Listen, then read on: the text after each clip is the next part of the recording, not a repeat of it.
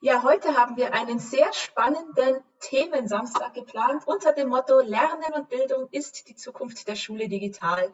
Ich freue mich schon sehr auf die vielen Inputs und Expertinnen und Experten von der Universität Augsburg und die jeweiligen Facetten, die Sie heute ansprechen. Als allererstes darf ich Ihnen Frau Prof. Dr. Eva Mattes vorstellen. Sie ist Inhaberin des Lehrstuhls Pädagogik. Ihre Forschungsschwerpunkte sind unter anderem Erziehungs- und Bildungsgeschichte und Theorien wie auch Bildungsmedienforschung. Sie ist zudem Mitglied als auch Herausgeberin oder auch Sprecherin in diversen deutschen sowie internationalen Zeitschriften und Gesellschaften. Unterstützt wird Professor Mattes heute durch ihren Mitarbeiter Stefan Siegel, Gesamtkoordinator im Projekt LEHET Förderung der Lehrerprofessionalität im Umgang mit Heterogenität. In seinem Promotionsprojekt widmet er sich daher auch verschiedenen erziehungswissenschaftlichen Theorien der individuellen Professionalisierung. Frau Hanna Lachner, Masterstudentin im Studiengang Heterogenität in Erziehung und Bildung mit Vertiefung Medienbildungsforschung, vervollständigt den ersten Teil dieses Tages und ich darf nun übergeben und freue mich schon sehr auf den ersten Input. Ganz herzlichen Dank, Frau Turner-Irmler.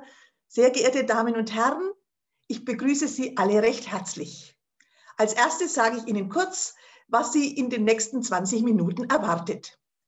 Zunächst werde ich Ihnen einen kurzen Einblick in den Arbeitsschwerpunkt Bildungsmedienforschung an meinem Lehrstuhl geben. Anschließend werde ich in diesem Kontext drei Thesen, die zum Nachdenken und zur späteren Diskussion anregen sollen, vorstellen. In einem zweiten Kurzvortrag wird Herr Stefan Siegel über seine Forschungen zu Anbietern von Erklärvideos mit Anschauungsmaterial berichten. Und in einem dritten Kurzvortrag wird Frau Hanna Lachner erste Ergebnisse aus unserem Forschungsprojekt Sexismus in Erklärvideos mit Beispielen aus entsprechenden Videos berichten und vorstellen. Wir beschäftigen uns an meinem Lehrstuhl in Forschung und Lehre seit Jahren intensiv mit Bildungsmedien und zwar mit Bildungsmedien von Kitas bis in die Erwachsenenbildung, sowohl in der Forschung als auch in der Lehre. In diesem Kontext möchte ich nicht unerwähnt lassen, dass wir in unserem Augsburger Projekt der Qualitätsoffensive Lehrerbildung Förderung der Lehrkräfteprofessionalität im Umgang mit Heterogenität auch den Kompetenzbereich Einsatz und Analyse von Bildungsmedien haben, den ich leiten darf. Daraus ergibt sich bereits eine wichtige Forschungsrichtung. Zum einen danach zu fragen, wie sich die Heterogenität, die Vielfalt in unserer Gesellschaft in Bildungsmedien widerspiegelt. Also ob und wenn ja, wie etwa verschiedene soziale Milieus, unterschiedliche Familien und Lebensformen, ethnische Herkünfte, religiöse Unterschiede repräsentiert werden. Zum anderen zu analysieren, wie Bildungsmedien dazu beitragen können, individuellen Unterschieden beim Lernen gerecht zu werden durch unterschiedliche Textsorten, durch Visualisierungen, durch Aufgaben unterschiedlichen Schwierigkeitsgrades, durch individuelles Feedback. Und hier lässt sich schon festhalten, dass digitale Bildungsmedien in dieser Hinsicht ein besonderes Potenzial haben. Wir haben bei unseren Forschungen also sowohl analoge als auch digitale Bildungsmedien im Blick da ja Schul- und Lehrbücher in Lehr-Lernkontexten, wie alle empirischen Untersuchungen der letzten Jahre gezeigt haben, nach wie vor eine sehr wichtige Rolle in Lehr-Lernprozessen spielen und nach wie vor weite Verbreitung finden. Die Digitalisierung hat, wie wir alle wissen, allerdings durch die Corona-Pandemie eine immense Beschleunigung erfahren. Und ich bin gespannt, wie sich das auch auf die Zukunft der Bildungsmedien auswirken wird. Lehr-Lernvideos haben jedenfalls immens an Bedeutung gewonnen. Auch das haben unsere aktuellen Forschungen gezeigt. Nun zu meinen Thesen. Erstens. Digitale Medien können eine Bereicherung für Lehr-Lernprozesse darstellen und sind aus diesen nicht mehr wegzudenken. Ein pädagogisches Paradies ist allerdings durch sie nicht zu erwarten. Eine Bereicherung stellen sie dann dar, wenn sie a. didaktisch überlegt eingesetzt werden, also speziell in interaktiven und kollaborativen Kontexten etwa, und dieser didaktische und, und, und äh, didaktisch überlegt eingesetzt werden. Also was B Lehrende voraussetzt, die mit digitalen Medien vertraut sind und sich mit ihren didaktischen Möglichkeiten intensiv auseinandergesetzt haben. Und C, die strukturellen Rahmenbedingungen stimmen, die technische Ausstattung und die technische Unterstützung gewährleistet sind. Vor übertriebenen Erwartungen ist zu warnen. Die Lehrenden und ihr professionelles pädagogisch-didaktisches Können wird nie überflüssig werden, was ja die Corona-Pandemie auch mit aller Deutlichkeit gezeigt hat. Falsch wäre es deshalb meines Erachtens, nun zum Beispiel bei Lehrkräftefortbildungen nur noch oder schwerpunktmäßig auf Optimierungen im Einsatz von digitalen Bildungsmedien zu setzen. Natürlich auch, aber nicht nur noch und nicht schwerpunktmäßig. Genauso wichtig sind Angebote etwa zur Diagnostik, zur Leistungsbeurteilung und nicht zuletzt zur pädagogischen Beziehungsgestaltung. Zweite These. Von Bildungsmedienverlagen angebotene analoge und digitale Bildungsmedien werden in Bayern einem aufwendigen staatlichen Prüfungsverfahren unterzogen und in allen Bundesländern öffentlich stark kontrolliert und auch schnell deutlich kritisiert. Zum Beispiel, dass sie fachlich nicht korrekt seien, dass sie nicht auf neuestem pädagogisch-didaktischem Stand seien, dass sie von der Gestaltung her veraltet seien, dass sie problematische politische Positionen transportierten und ähnliches. Nun gibt es seit Jahren die OER, Open Educational Resources Bewegung, die für sich in Anspruch nimmt, freie Bildungsmedien zum freien Gebrauch und zur auch adaptierten Weiterverwendung für alle zu produzieren, die, so kann man es in entsprechenden Veröffentlichungen nicht selten lesen, die Qualität der Angebote der Bildungsmedienverlage deutlich übertreffen würden.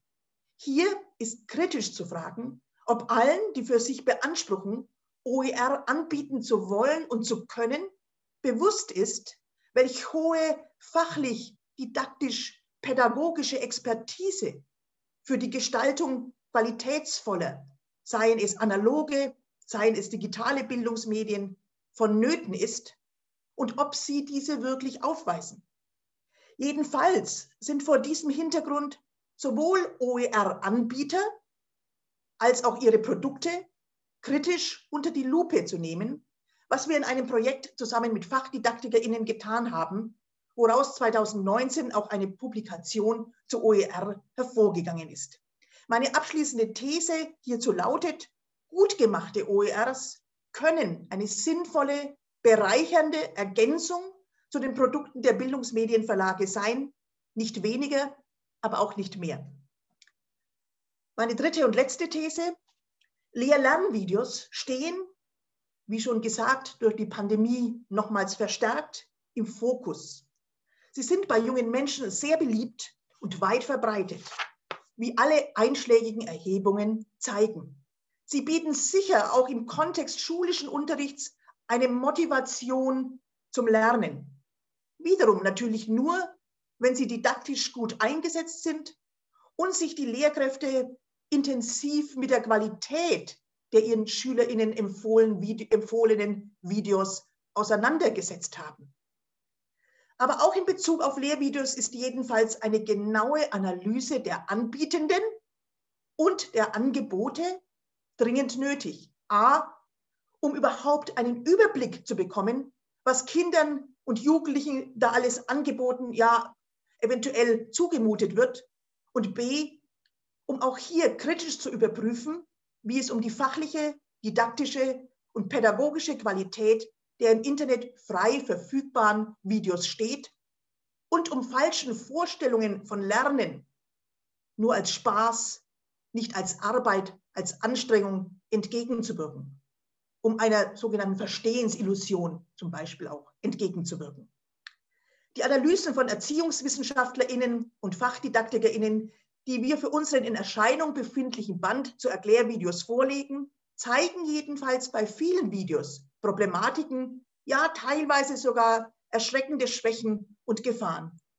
Herr Siegel und Frau Lachner werden, dies in, werden Ihnen dies in Ihren Vorträgen nun veranschaulichen. Herzlichen Dank fürs Zuhören.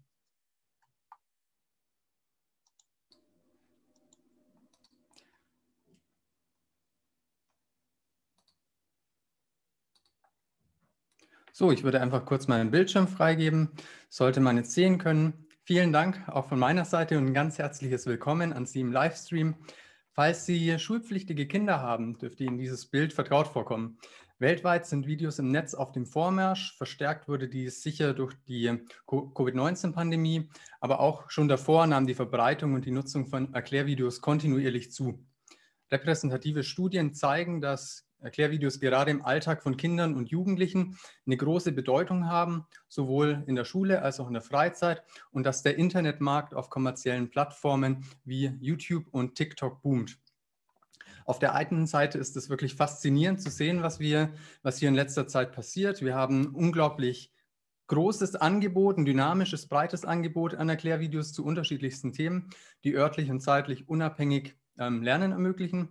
Auf der anderen Seite, wie es Frau Mattes gerade angesprochen hat, stehen die Gefahren. Ähm, das Internet ist ein weitgehend deregulierter, unkontrollierter Raum, der es eigentlich nahezu jedem ermöglicht, ähm, Bildungsmedien einem breiten Publikum zugänglich zu machen. Und es war für meine Kollegin Grund genug uns und mich Grund genug, uns intensiver mit diesen spannenden Bildungsmedien zu beschäftigen. Hier sehen Sie jetzt drei ähm, Projekte, zu denen ich im letzten Jahr geforscht habe. Eins davon, die Erklärvideokanalanalyse, die ich zusammen mit Sebastian Streitberger und Thomas Heiland durchgeführt habe, möchte ich Ihnen einen kurzen Einblick geben. Ähm, während Wissenschaftler äh, unterschiedlicher Disziplinen seit einiger Zeit zu Erklärvideos forschen, ähm, werden die Anbieter ähm, der Erklärvideos ähm, nur selten in den Blick genommen. Um jetzt die Vertrauenswürdigkeit und die Qualität der Anbieter jedoch besser einschätzen zu können, haben wir uns die Fragen gestellt, wer steht eigentlich hinter diesen Kanälen und ähm, inwiefern unterscheiden sich die Anbieter. Da es eine ganze Vielzahl von Kanälen gibt und wir nicht alle gründlich ansehen konnten, mussten wir eine Auswahl treffen. Nach eigenen Online-Recherchen und der Befragung von Lehrkräften haben wir schließlich elf Kanäle ausgewählt und im August 2020 genauer unter die Lupe genommen. Wir haben uns ähm, vor allem Kanäle auf der Plattform YouTube angesehen und dort Kanäle untersucht, die Erklärvideos für den Kontext Schule anbieten im weitesten Sinne. Dazu haben wir eine Checkliste entwickelt, ähm, die uns hilft, diese Kanäle systematisch und transparent zu bewerten. Das Analyseraster für Erklärvideokanäle auf YouTube, das AY. Sie sehen es ähm, rechts im Bild. Ähm, es enthält fünf Themenbereiche und insgesamt rund 30 Fragen um die Kanäle zu bewerten und zu vergleichen, haben wir uns unterschiedliche Punkte angesehen. Zum Beispiel die Kanalleistung. Also zum, äh, zum Beispiel, wie viele Videos gibt es auf dem Kanal, wie viele Views hat er, wie viele Abonnements. Ähm, wir haben uns aber auch das Angebot und die didaktische Aufbereitung des Angebots angesehen. Ähm, zum Beispiel, für welche Zielgruppe wird das Angebot bereitgestellt? Welche Fächer, Schulfächer werden beispielsweise bedient? Wir haben uns auch mit den Verantwortlichen näher beschäftigt. Ähm, zum Beispiel, ähm, wie viele Mitarbeiter hat so ein Kanal, ähm, welche Funktionen haben die oder welche fachlichen Hintergründe. Ähm, das Wirtschaftsmodell haben wir uns angeschaut. Da war zum Beispiel so eine Frage, wird auf dem Kanal kommerzielle Werbung platziert, eingesetzt. Dann haben wir uns die Qualitätsprüfung schließlich noch angeschaut in dem letzten Punkt. also wird die inhaltliche, technische Qualität irgendwie sichergestellt, hat der Kanal Auszeichnungen beispielsweise. Ähm, jede dieser Fragen, 30 Fragen, wird einzeln bewertet und am Ende des Tages kann man dann eine Gesamtbewertung des Kanals erhalten. Gut, was kommt jetzt bei dieser Analyse raus? Wer steckt nun hinter diesen Erklärvideokanälen, die vielleicht auch meinem Sohn, meiner Tochter ähm, Erklärvideos bereitstellen? Sind die überhaupt vertrauenswürdig? Leider kann ich Ihnen jetzt da nicht alle unsere Erkenntnisse ähm, präsentieren, aber zumindest zwei, drei wesentliche Dinge was vielleicht jetzt keine revolutionäre Erkenntnis, aber dennoch sehr wichtig ist. Ähm, hinter den Kanälen stehen manchmal einzelne Privatpersonen, wie zum Beispiel bei Lehrer Schmidt, äh, unten links auf der Folie, der selbst Lehrer ist und, und die Videos in seiner Freizeit ähm, macht. Ähm, zum Teil stehen aber dahinter auch profitorientierte Unternehmen mit vielen Mitarbeitern und Mitarbeiterinnen, wie zum Beispiel Simple Club oben in der äh, Mitte. Die Kanäle unterscheiden sich stark in der Frage, welche Informationen sie über sich preisgeben auf dem Kanal. ähm, und welche Ziele sie verfolgen. Große Unterschiede haben wir beim, oder besonders eindrücklich zeigt sich das am Thema Werbung, wie die Kanäle mit Werbung umgehen. Obwohl Wissenschaft ja im Idealfall eine eher sachlich rationale Angelegenheit ist und auch sein sollte, waren wir bei den Analysen ähm, zum Teil sehr überrascht, schockiert und auch zum Teil verärgert, wie beispielsweise der Kanal Simple Club Werbung einsetzt. Ähm, viele Videos auf dem Hauptkanal wirken zumeist in Teilen wie Verkaufsveranstaltungen für die eigene Lern-App. Ähm, hier werden Versagensängste von Schülerinnen geschürt und gleichzeitig wird vollmundig versprochen, dass mit der Lern-App mühelos in kürzester Zeit Bestnoten erreicht werden können. Positiv aufgefallen sind uns die Angebote des öffentlichen öffentlich-rechtlichen Medienangebots von Funk, zum Beispiel Mr. Wissen to go oder Musste Wissen Deutsch, die sind werbefrei. Zumindest waren sie das damals. Ähm, mein Fazit lautet, genau hinschauen lohnt sich. Ähm, nicht nur die Videos, sondern auch die Anbietenden sollten kritisch und differenziert in den Blick genommen werden, was jetzt hier aufgrund der Zeit nur bedingt möglich ist. Ähm, unser entwickeltes Instrument, das AY, kann helfen, aber es braucht unbedingt noch mehr Forschung in dem Bereich. Ähm, ich möchte mich für Ihre Aufmerksamkeit bedanken und stehe für Fragen gerne zur Verfügung. Abschließend möchte ich noch darauf hinweisen, dass ganz viele meiner Kolleginnen ebenfalls in spannenden Projekten zu Lehrvideos forschen. Ähm, Einblicke, in ein paar dieser Projekte bietet ein Sammelband, der von, von Mattes und einem Kollegen von mir herausgegeben wird und demnächst im Klinkhardt Verlag erscheint. Ähm, hier gibt es auch einen wirklich ganz spannenden und wichtigen Beitrag von Eva Mattes und Hanna Lachner, von dem jetzt berichtet wird.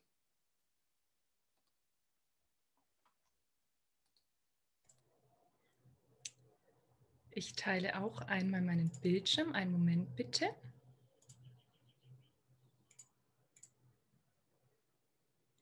Ja, hallo auch von meiner Seite. Vielen Dank. Ich freue mich, dass ich Ihnen heute einen kurzen Einblick geben kann in die Untersuchung von Frau Mattis und mir zum Thema Sexismus in Erklärvideos. Unser Interesse war grundsätzlich, wie Herr Siegel gerade auch schon angesprochen hat, in Hinblick auf Erklärvideos gibt es eben sehr großen Forschungsbedarf.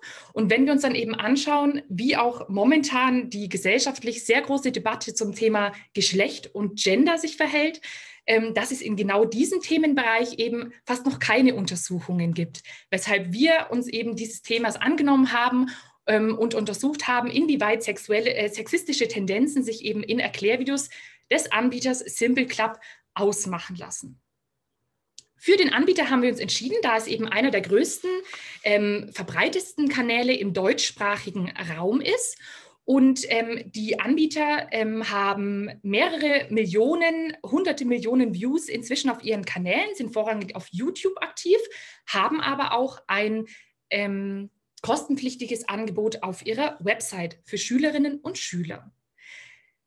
Die Anbieter haben einen sehr hohen Reichweitenanspruch. Das bedeutet, wie Sie hier sehen können, vom Nachhilfeprodukt soll Simple Club immer mehr zur kompletten Lern-App werden, die im Notfall sogar den Schulunterricht ersetzen kann.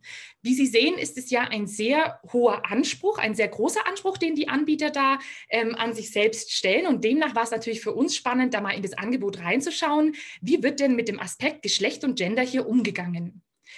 Es gibt von den unterschiedlichen Bundesländern ähm, in der Bundesrepublik Deutschland bestimmte Vorgaben dazu, wie beispielsweise in Schulbüchern mit dem Aspekt Geschlecht umgegangen werden soll. Die Kultusministerkonferenz hat hierzu bereits 2016 eben Folgendes veröffentlicht. Das ist jetzt ein Zitat. Bei der behördlichen Zulassung von Schulbüchern beziehungsweise bei der Entscheidung innerhalb der Schulen über die Beschaffung von Schulbüchern soll besonderes Augenmerk darauf gelegt werden, dass die Inhalte eine Vielfalt an Lebensrealitäten und Lebensentwürfen unabhängig von einengenden Geschlechterrollen abbilden. Und das ist jetzt eben auch so der entscheidende Punkt für unsere Untersuchung, unabhängig von einengenden Geschlechterrollen. Das ist jetzt grundsätzlich erstmal die grundlegende Vorgabe. Ähm, es gibt von den einzelnen Bundesländern eben noch ganze Kriterienkataloge zu dem Thema, wo ganz genau aufgeschlüsselt ist, wie beispielsweise Frauen und Männer dargestellt werden sollten, damit sie eben nicht in ihrem Leben eingeschränkt werden, beispielsweise, damit ihnen keine einengende Geschlechterrolle vorgegeben wird. Ähm, das jetzt einfach nur mal als allgemeine Richtlinie, da es jetzt eben zu umschweifend wäre, auf den, die gesamten Kriterienkataloge einzugehen. Ich möchte Ihnen jetzt heute einige der Ergebnisse vorstellen, eben auch in der Kürze der Zeit. Ähm, die wir eben im Rahmen unserer Untersuchung feststellen konnten. eine ganz wichtige Leitfrage hierfür ist eben, werden in, durch, die Erklär, durch das Erklärvideo, das wir jeweils untersucht haben, geschlechtsspezifische Stereotypen reproduziert. Wir haben sieben Videos des Anbieters Simple Club untersucht und jetzt möchte ich Ihnen einen Einblick in einige der Ergebnisse geben.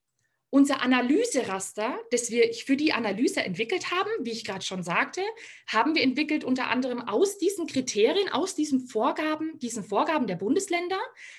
Geschlechtsspezifische Stereotypisierungen können in ganz unterschiedlichen Bereichen auftreten. Beispielsweise im Hinblick auf Körper, im Hinblick auf Beruf, ja, werden nur sehr einengende Möglichkeiten gegeben, welche Angehörigen welches Geschlechts eben ähm, welchen Beruf auszuüben haben, ausüben können. Das sind eben da so Fragen, die man sich stellt. Oder beispielsweise im Hinblick auf Körper. Wie werden Körper eigentlich dargestellt? Ist es, wird da eine sehr idealtypische Form vermittelt? Ähm, werden Körper nur sehr idealtypisch dargestellt? Das sind eben zwei Beispielbereiche von 15 insgesamten Bereichen, die wir untersucht haben. Zu den Ergebnissen. Hier sehen Sie zwei Beispiele aus zwei der sieben untersuchten Videos auf YouTube. Generell lässt sich eben sagen, wir haben jetzt hier die ähm, Beispiele Körper und den Bereich Sexualisierung. Ja, wie werden Körper dargestellt und wie werden Menschen in ihrer Lebenswelt überhaupt dargestellt? Wer, wird irgendwie deren Sexualität immer in den Vordergrund gehoben? Werden sie sexualisiert dargestellt? Und jetzt haben wir hier erstmal die Darstellung von Frauen, wie Sie sehen können. Linke Hand eben zwei Frauen. Das ist jetzt eine Beispielabbildung. Uns ist im Rahmen der Analyse einfach aufgefallen, dass Frauen sehr idealtypisch gezeichnet werden. Die sind grundsätzlich schlank, haben lange Haare, ähm, haben große Brüste, die auch meist gut in Szene gesetzt werden. Und wie Sie jetzt auf dem rechten Bild hier sehen können, das ist ein Beispielbild aus einem der Videos von Simple Club zum Thema Vielfalt von Körpern. Also wie unterschiedlich können Brüste alles, alles äh, aussehen.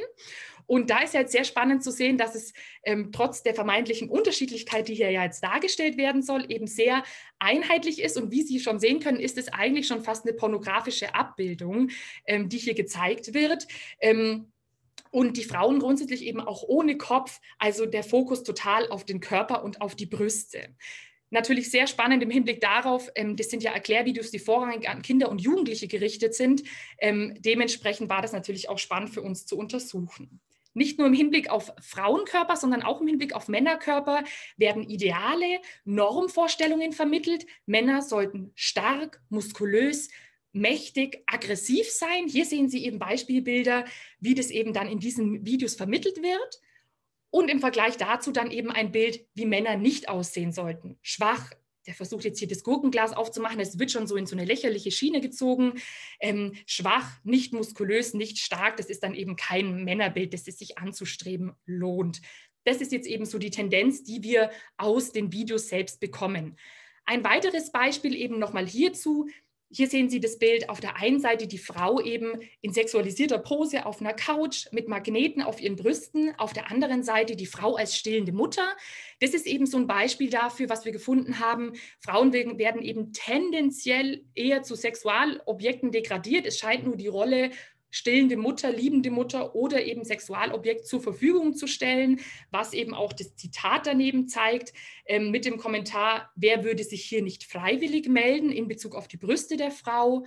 Und das zweite Beispiel, das war eine Einleitung zum Thema Hormone, in denen eben die schwangere Frau eben auch sehr lächerlich dargestellt wurde. Das ist Jan und daneben steht seine schwangere Frau Jamina Tatja. Sie geht ihm zurzeit voll auf den Sack. Jan versucht sich einzureden, dass das an den Hormonen liegt. Also wir sehen hier eine Einleitung zum Thema Hormone, die eben hier an, aus unserer Sicht eben überhaupt nicht gelungen ist, wo man sich eben auch fragen muss, warum dieser Einstieg an dem Beispiel so gewählt wurde. Als Fazit können wir eben sagen, dass wir eine tendenzielle Degradierung von Frauen zu Sexualobjekten ähm, finden mussten in den Videos, die wir jetzt beispielhaft analysiert haben. Wir haben eine bewusste Verbreitung eines bestimmten Geschlechterverständnisses und in Verbindung mit der Fundamentalkritik am bestehenden Schulsystem, das die Anbieter ja äh, üben und dem sehr hohen Reichweitenanspruch des Anbieters, ähm, ja, sehen wir das eben dann grundsätzlich sehr als problematisch an, insbesondere im Hinblick darauf, dass eben bestimmte Richtlinien, die von den Bundesländern seitens der Bildungspolitik eben an Bildungsmedien herangetragen werden, dass diese Richtlinien nicht eingehalten werden. Ich danke Ihnen für Ihre Aufmerksamkeit und freue mich auf Fragen. Ja, vielen Dank an die drei Referierenden schon mal für Ihren Input. Äh, es gab sogar schon eine Frage im F&A-Tool wurde gestellt während der Vorträge. Falls es noch weitere Fragen gibt, nutzen Sie bitte das Chat Tool oder auch das F&A-Tool. Ich würde kurz die erste Frage vorlesen und zwar frei zugängliche Lehr Lernvideos. Wäre es eine Überlegung oder gibt es schon eine Initiative dahingehend, eine Art Prüfsiegel oder Empfehlung, Gütesiegel für frei zur Verfügung gestelltes Material einzuführen, beziehungsweise eine Art freiwilliger Prüfung unterziehen zu lassen? Oder gibt es sowas gar schon? Es gibt es, glaube ich, meines Wissens noch nicht. Wäre aber, glaube ich, etwas, was durchaus sinnvoll und nötig wäre. Ich meine, da könnte natürlich so ein, so ein Raster, wie es wir in, entwickelt haben, durchaus eine, eine gute Grundlage sein. Also ich denke, da ist natürlich, also Bedarf ist, Handlungsbedarf sehe ich auf jeden Fall. Ja. Was könnten Sie denn da empfehlen? Was, äh, gibt es eine Organisation oder wäre es etwas vielleicht ein neues Projekt an, einer, an der Universität Augsburg? Also Vielleicht, Herr Siegel, und Frau, Sie mögen vielleicht selber was zu diesem Kriterienlaster, können Sie was sagen, Herr Siegel, das ja. Sie mit Frau Hensch entwickelt haben? Hm. Also finde ich auch super spannend, den Gedanken und fände ich auch lohnend. Ähm, die Frage ist halt, ähm, welche Prüfstelle ähm, so ein Gütesiegel vergeben könnte, das aussprechen könnte. Also was ich vorhin gesagt habe, das Angebot ist unglaublich breit und auch dynamisch. Das heißt, so eine Stelle würde wahrscheinlich gar nicht nachkommen. Ähm, das heißt, eigentlich muss die Einzelperson ähm, dann mit Hilfe zum Beispiel so einer Art Checkliste dann für sich prüfen, ob das ein sinnvolles Angebot ist. Ja, ich denke auch, denk auch, man wird es wahrscheinlich unbedingt stärker sowohl in die Lehramtsaus- als auch in die Lehrkräftefortbildung integrieren müssen. Ja. Und vielleicht auch mit Schülerinnen arbeiten. Also ähm, digitale ja. Bildung von der äh, Kindheit bis zum hohen Erwachsenenalter. Äh, es kam noch eine weitere Frage gerade rein. Ich habe solche Stereotypen ebenfalls beispielsweise im Duden Print-Lehrmaterial für die erste Klasse gesehen. Mädchen sind still und mögen Mode, Jungs toben etc. Woran meinen Sie liegt das, dass dies auch in 2021 noch so weit verbreitet ist? Ich, kann, ja, ich, äh, ich denke natürlich, eine Sache, es gibt, hat zwei unterschiedliche ähm, Gründe vielleicht. Die eine Sache ist, dass ähm, das Bewusstsein dafür nicht, noch nicht geschaffen ist. Das war ja auch einer der Anliegen unserer Untersuchung, da eben auch dieses Bewusstsein dafür zu stärken. Ähm, weil man kann sich quasi nicht mit allem auskennen und dann ist halt die Frage, wird es nicht gesehen? Und die andere Sache ist natürlich auch die, es gibt vielleicht durchaus auch Anbieter, die das auch bewusst machen. Also das wäre jetzt eben einfach mal die Frage, was man eben auch rausfinden müsste, ähm, was die Gründe eben für solche Entwicklungen dann eben auch sind. Einerseits, dass man nicht sensibilisiert dafür ist und andererseits, ob es vielleicht auch mit Absicht passiert, man weiß es ja nicht. Ich meine, es ist richtig, dass es auch in, in analogen Bildungsmedien noch entsprechende, äh, entsprechende Geschlechterstereotype gibt, wobei man schon sehen muss, also der Blick darauf ist ein, ein deutlich kritischer. Es gibt natürlich auch sehr viele Analysen dazu, was nicht heißt, es nicht immer noch ähm, zu finden ist. Aber im Vergleich zu dem, was wir da in Erklärvideos gesehen haben, das mhm. muss ich dann schon sagen, es ist relativ harmlos.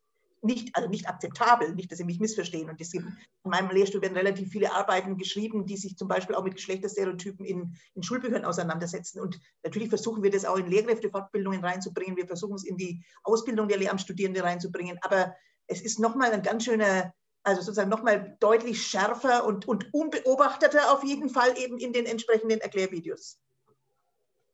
Vielleicht kann ich da noch ergänzen, weil es ja auch ganz unterschiedlich, welche fachlichen Hintergründe die Personen haben, die diese Lehr-Lernvideos erstellen. Manchmal sind es pädagogische Fachkräfte, die das in ihrer Freizeit machen.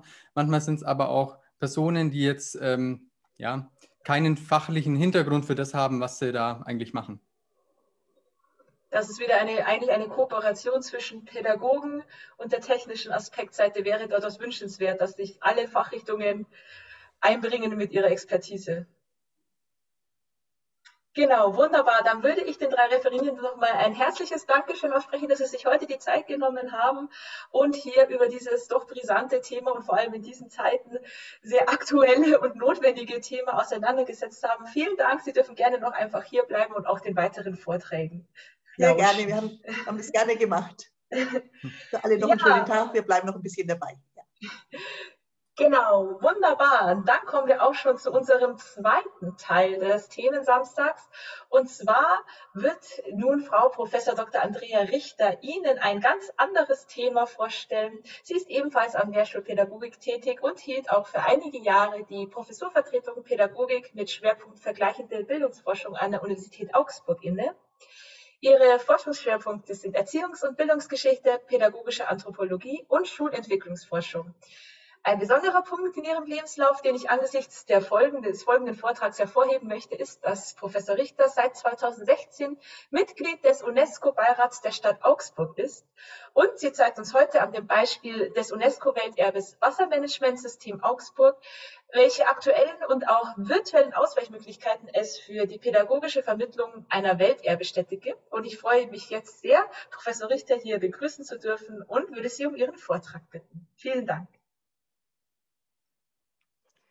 Vielen Dank.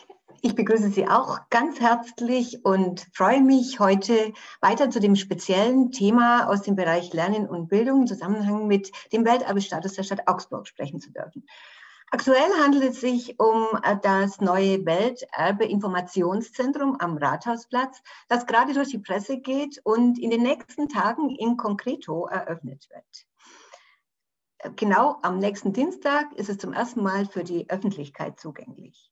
Nun soll also untersucht werden, ob dieses Augsburger Welterbe-Informationszentrum als Bildungsmedium fungiert und seinem Vermittlungsanspruch gerecht wird. Nach den UNESCO-Richtlinien ist es verpflichtend, an jeder Welterbestätte einzurichten. Dazu gebe ich jetzt meinen Bildschirm frei.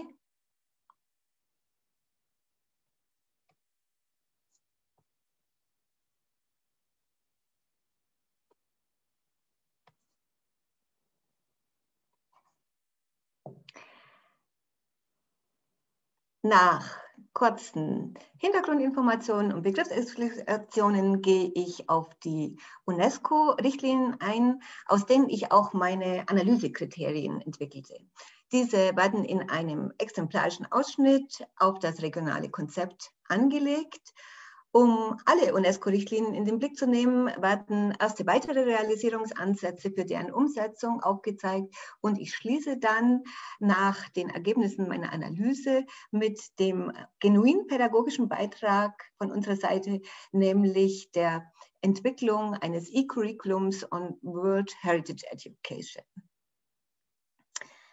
Was die Qualifikation einer Welterbestätte insgesamt als Bildungsmedien angeht, ist es, glaube ich, unstrittig, Welterbestätten als Bildungsmedium zu qualifizieren. Es handelt sich um gegenständliche Kulturgüter wie verschiedene Arten von Denkmalen oder ihre Repräsentation in virtueller oder gedruckter Form, wenn sie der Vermittlung von Wissen dienen und bestimmten Adressaten einen Lernzuwachs ermöglichen. Welterbestätten sind nun Orte von universaler Bedeutung und bedienen einen besonders breiten Adressatenkreis als verschiedene Funktionsräume wie Museen, Erinnerungsorte, Kulissen für ästhetische Inszenierungen etc. Damit einher geht allerdings die Gefahr der Übernutzung der sensiblen Denkmale bis hin zur Notwendigkeit ihrer Schließung und zumindest der Lenkung der erwarteten Touristenströme. Hier nimmt nun äh, dieses bewusste Welterbe-Informationszentrum eine wichtige Rolle als Anlaufstelle, Informations- und Verteilerstelle ein.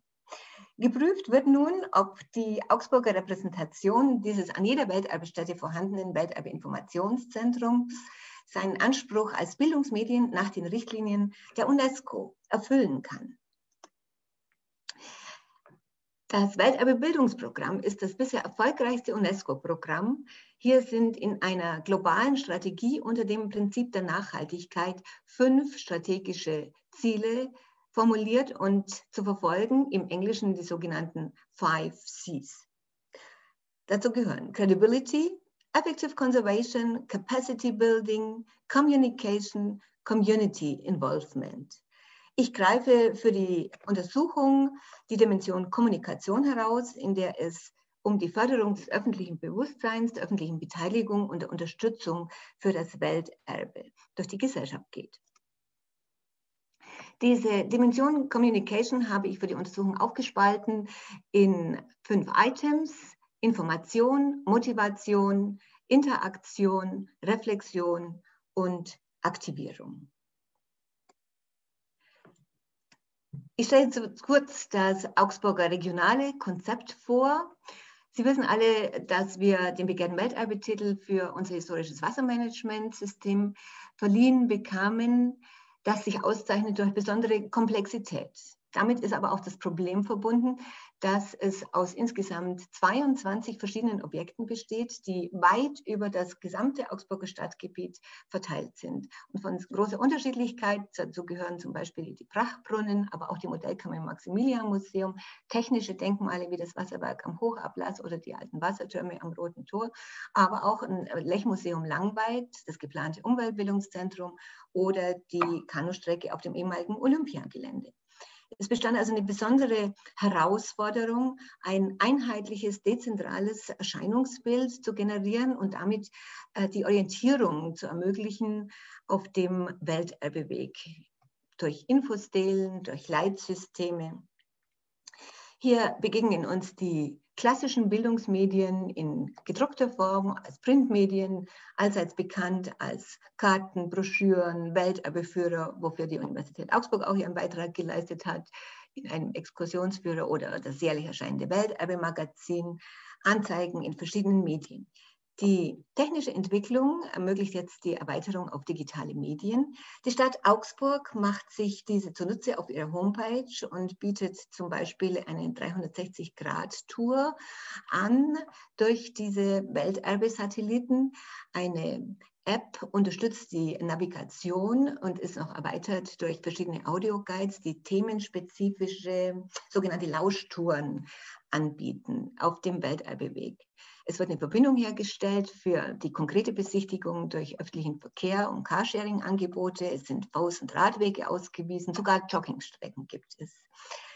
Hier nimmt das Welterbe-Informationszentrum eine Zwischenstellung zwischen den klassischen und den modernen digitalen Medien ein. Es kann geradezu als Hybrid zwischen klassischen und digitalen Medien gelten. Ich nehme Sie jetzt mit zu unserem neuen Welterbe-Informationszentrum an den Rathausplatz. Sie sehen hier den Eingang, der ganz bewusst durch diese großen Fensterflächen transparent gestaltet ist, um die Hemmschwelle niedrig zu halten, sich äh, auch einen Eindruck im Inneren des Welterbezentrums von dem Angebot zu verschaffen.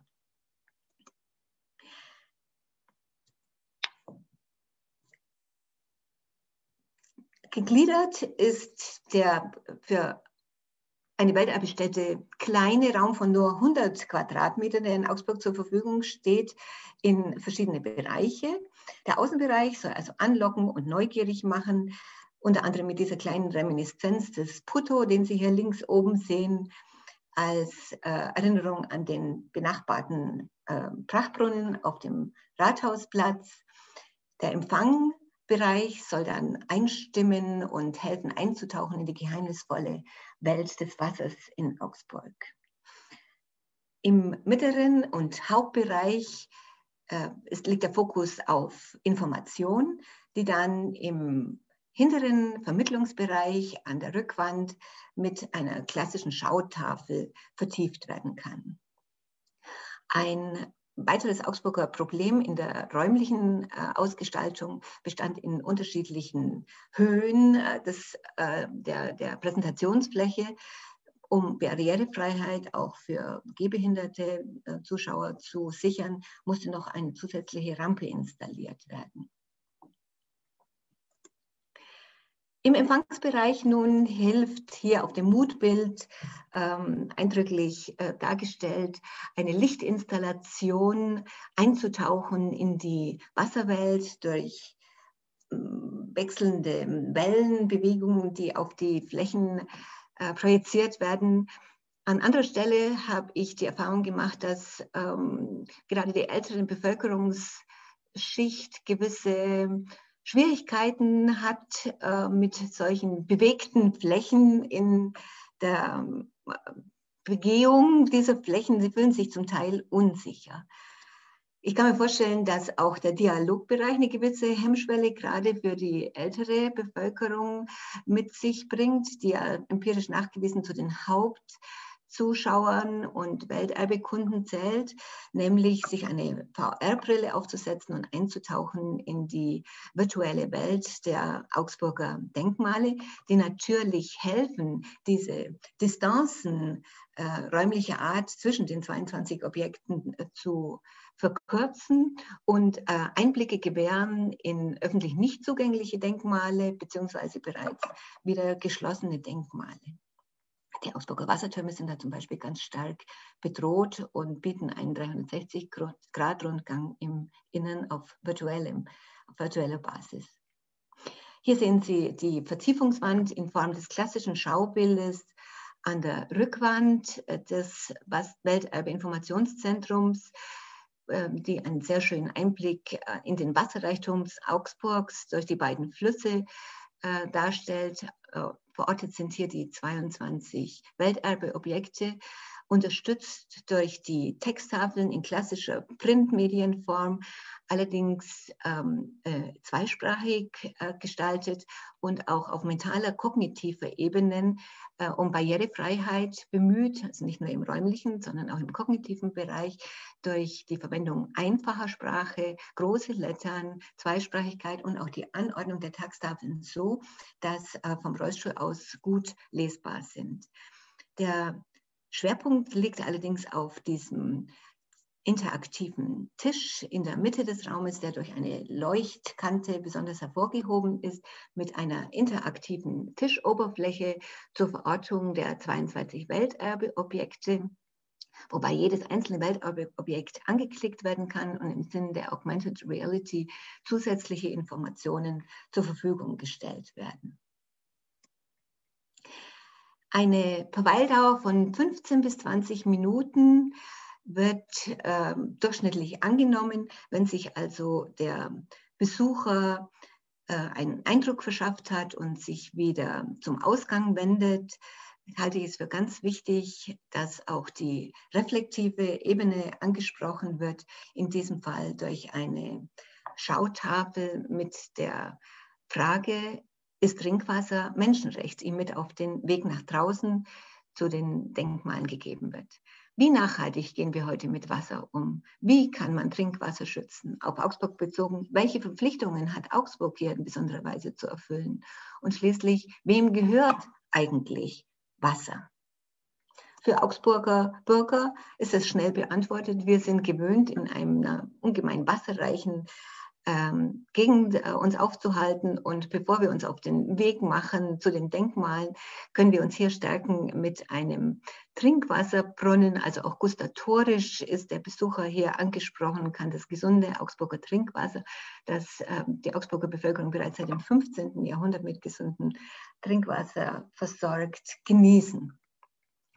Wenn Sie ähm, oben einen Blick auf diese bunte Tafel werfen, dann sehen Sie eine weitere als Helfer gedachte Figur, das Avatar des barocken Brunnenmeisters Caspar Walter. In meiner Eigenschaft als Mitglied des UNESCO-Beirats habe ich dazu meine Stellung abgegeben, dass äh, es vielleicht ähm, doch ähm, überarbeitet werden sollte, um wirklich alle Bevölkerungsteile, gerade Kinder und Jugendliche, besser anzusprechen, als Identifikationsfigur zu dienen.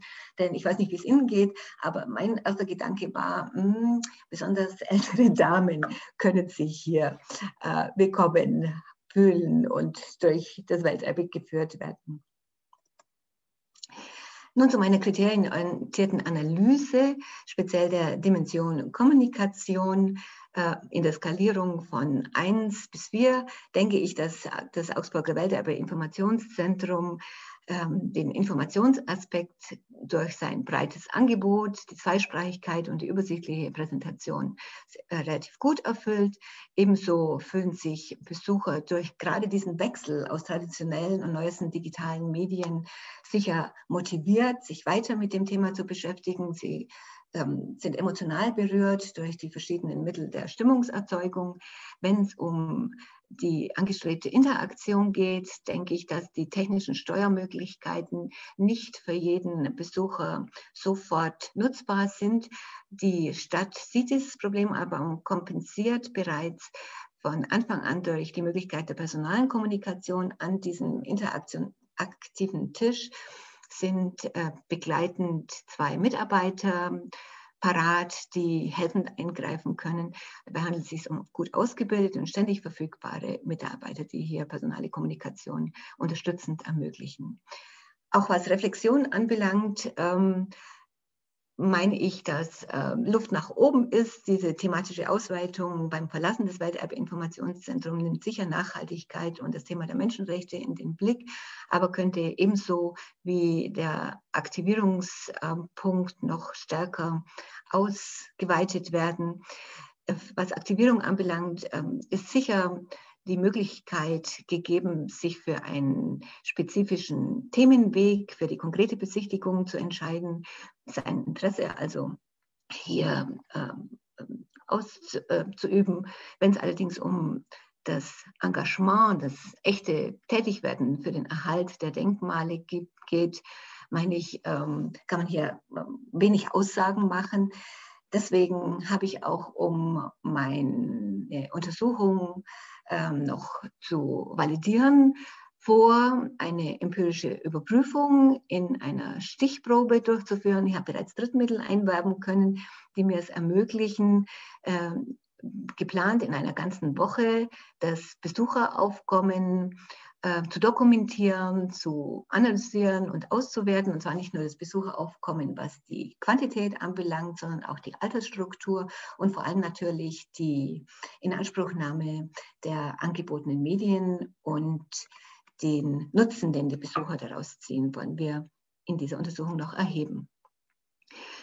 Ich habe jetzt einen ähm, Punkt aus den Five Cs der UNESCO-Richtlinien herausgegriffen für die Untersuchung, um eine stärkere Gewichtung aller äh, Five Cs zu gewährleisten, hat die Stadt Augsburg sich um weitere Ansätze der Realisierung bereits bemüht. Ganz wichtig natürlich die Institutionalisierung der Bürgerbeteiligung, Kooperationen Aktionen mit örtlichen Einrichtungen und, wie es das Thema Wasser ja anbietet, überregionale Kooperationen. Carsten Speck betont die Wichtigkeit dieser Institutionalisierung von Beteiligungen, diese Wiederholung von bestimmten Events, auf die man sich einstimmen kann und für die man sich dann vornehmen kann, sich auch aktiv zu beteiligen. Äh, zum Beispiel am Weltwassertag ist die Universität Augsburg regelmäßig aktiv. Studierende des Lehrstuhls Pädagogik setzen sich ein an den Wassertürmen am Familienwassertag. Äh, bei den Augsburger Wassertagen, äh, bekannt ist auch der Deutsche Welterbetag oder Tag des offenen Denkmals. Und die Augsburger können sich freuen auf ihre Feier des Augsburger Wasserglanzes am Ende der Saison. Ein ganz wichtiges Element zur äh, Umsetzung dieser UNESCO-Richtlinien ist sicher auch der Beitritt der Stadt Augsburg zu den View Communities, äh, was den Nachhaltigkeitsaspekt des Themas äh, betont in kommunaler Entwicklungszusammenarbeit auf internationaler Ebene, aber auch in einem freiwilligen Zentrum im Bündnis für Augsburg, in der Kooperation mit unserer Universität und der Hochschule oder in Kulturprojekten wie dem Theaterprojekt Ukwanda mit Südafrika. das Thema Wasser, das wirklich jeden angeht, erleichtert überregionale, globale Kooperationen. So stehen wir in Austausch und Zusammenarbeit mit Yinan, der Stadt der Quellen in China, einem neuen Welterbeanwärter. Wir treffen uns in jährlichen Wasserkonferenzen. Die Zusammenarbeit mit deutschen Welterbestätten ist bereits äh, im Gange, alles im Zusammenhang mit dem Kontext Wasser in unterschiedlichen Ausprägungen, je nach ähm, Spezialisierung. Nun komme ich zum Schluss zu unserem genuinen pädagogischen Beitrag zur Umsetzung des Welterbegedankens, nämlich dem Ausblick auf ähm, die Installierung eines E-Learning Curriculum on World Heritage. Eine junge Kollegin aus China in der Freien Universität Berlin, zurzeit als Gastprofessorin tätig, hat die Projektleitung dankenswerterweise übernommen und dieses Project Design erarbeitet. Sie verbindet Learning Skills, Literacy Skills, Life Skills, nimmt die äh, Untersuchungskriterien, die Sie gerade gehört haben, Action, Reflection, Anticipation auf und das alles unter internationaler Perspektive. Sie hat konstatiert, dass äh, in den Welterbestätten große Anstrengungen unternommen wurden zur Verbreitung des Welterbegedankens, aber ihre dauerhafte Wirkung, die Nachhaltigkeit in Frage gestellt ist. Und so bemüht sie sich gerade für Kinder und Jugendliche im äh, Hinblick auf die großen äh, Herausforderungen, die die Zukunft an sie stellt, ihnen hier Kompetenzen und Fähigkeiten durch die Beschäftigung mit dem World Heritage ähm, an die Hand zu geben. Wenn Sie dies, die Knowledge Structure anschauen, dann sehen Sie ein vertrautes Bild einer Zeitleiste, beginnend chronologisch beim äh, Mittelalter bis hin zum postindustriellen Zeitalter. Natürlich ähm, wird das Kind in den Blick genommen, die Notwendigkeit, Basiswissen grundzulegen, ähm, zu verstärken, was bereits gelernt wurde und vor allem kontextualisieren, Zusammenhänge zu ermöglichen, Zusatzwissen zu vermitteln und das alles im Hinblick auf die Lernziele. Es geht darum, historisch Bewusstsein und Problemlöseverhalten zusammen mit der Aufrechterhaltung des Interesses, besonders für technische Entwicklungen, aufrechtzuerhalten. Sie äh, sehen, dass es sich um ein sehr ambitioniertes äh, Vorhaben handelt, ein Participatory Working Process, ähnlich wie bei unseren Anstrengungen an der Universität Augsburg. Bemühen wir uns, ähm, Kinder und Jugendliche, Lehrer von Anfang an ins Boot zu holen, in einem ständigen Austausch zwischen Testung von Learning Activities, Teaching Plans und Feedbacks diesen Austausch zu gewährleisten und alles in einem zunächst European Network zu verbinden.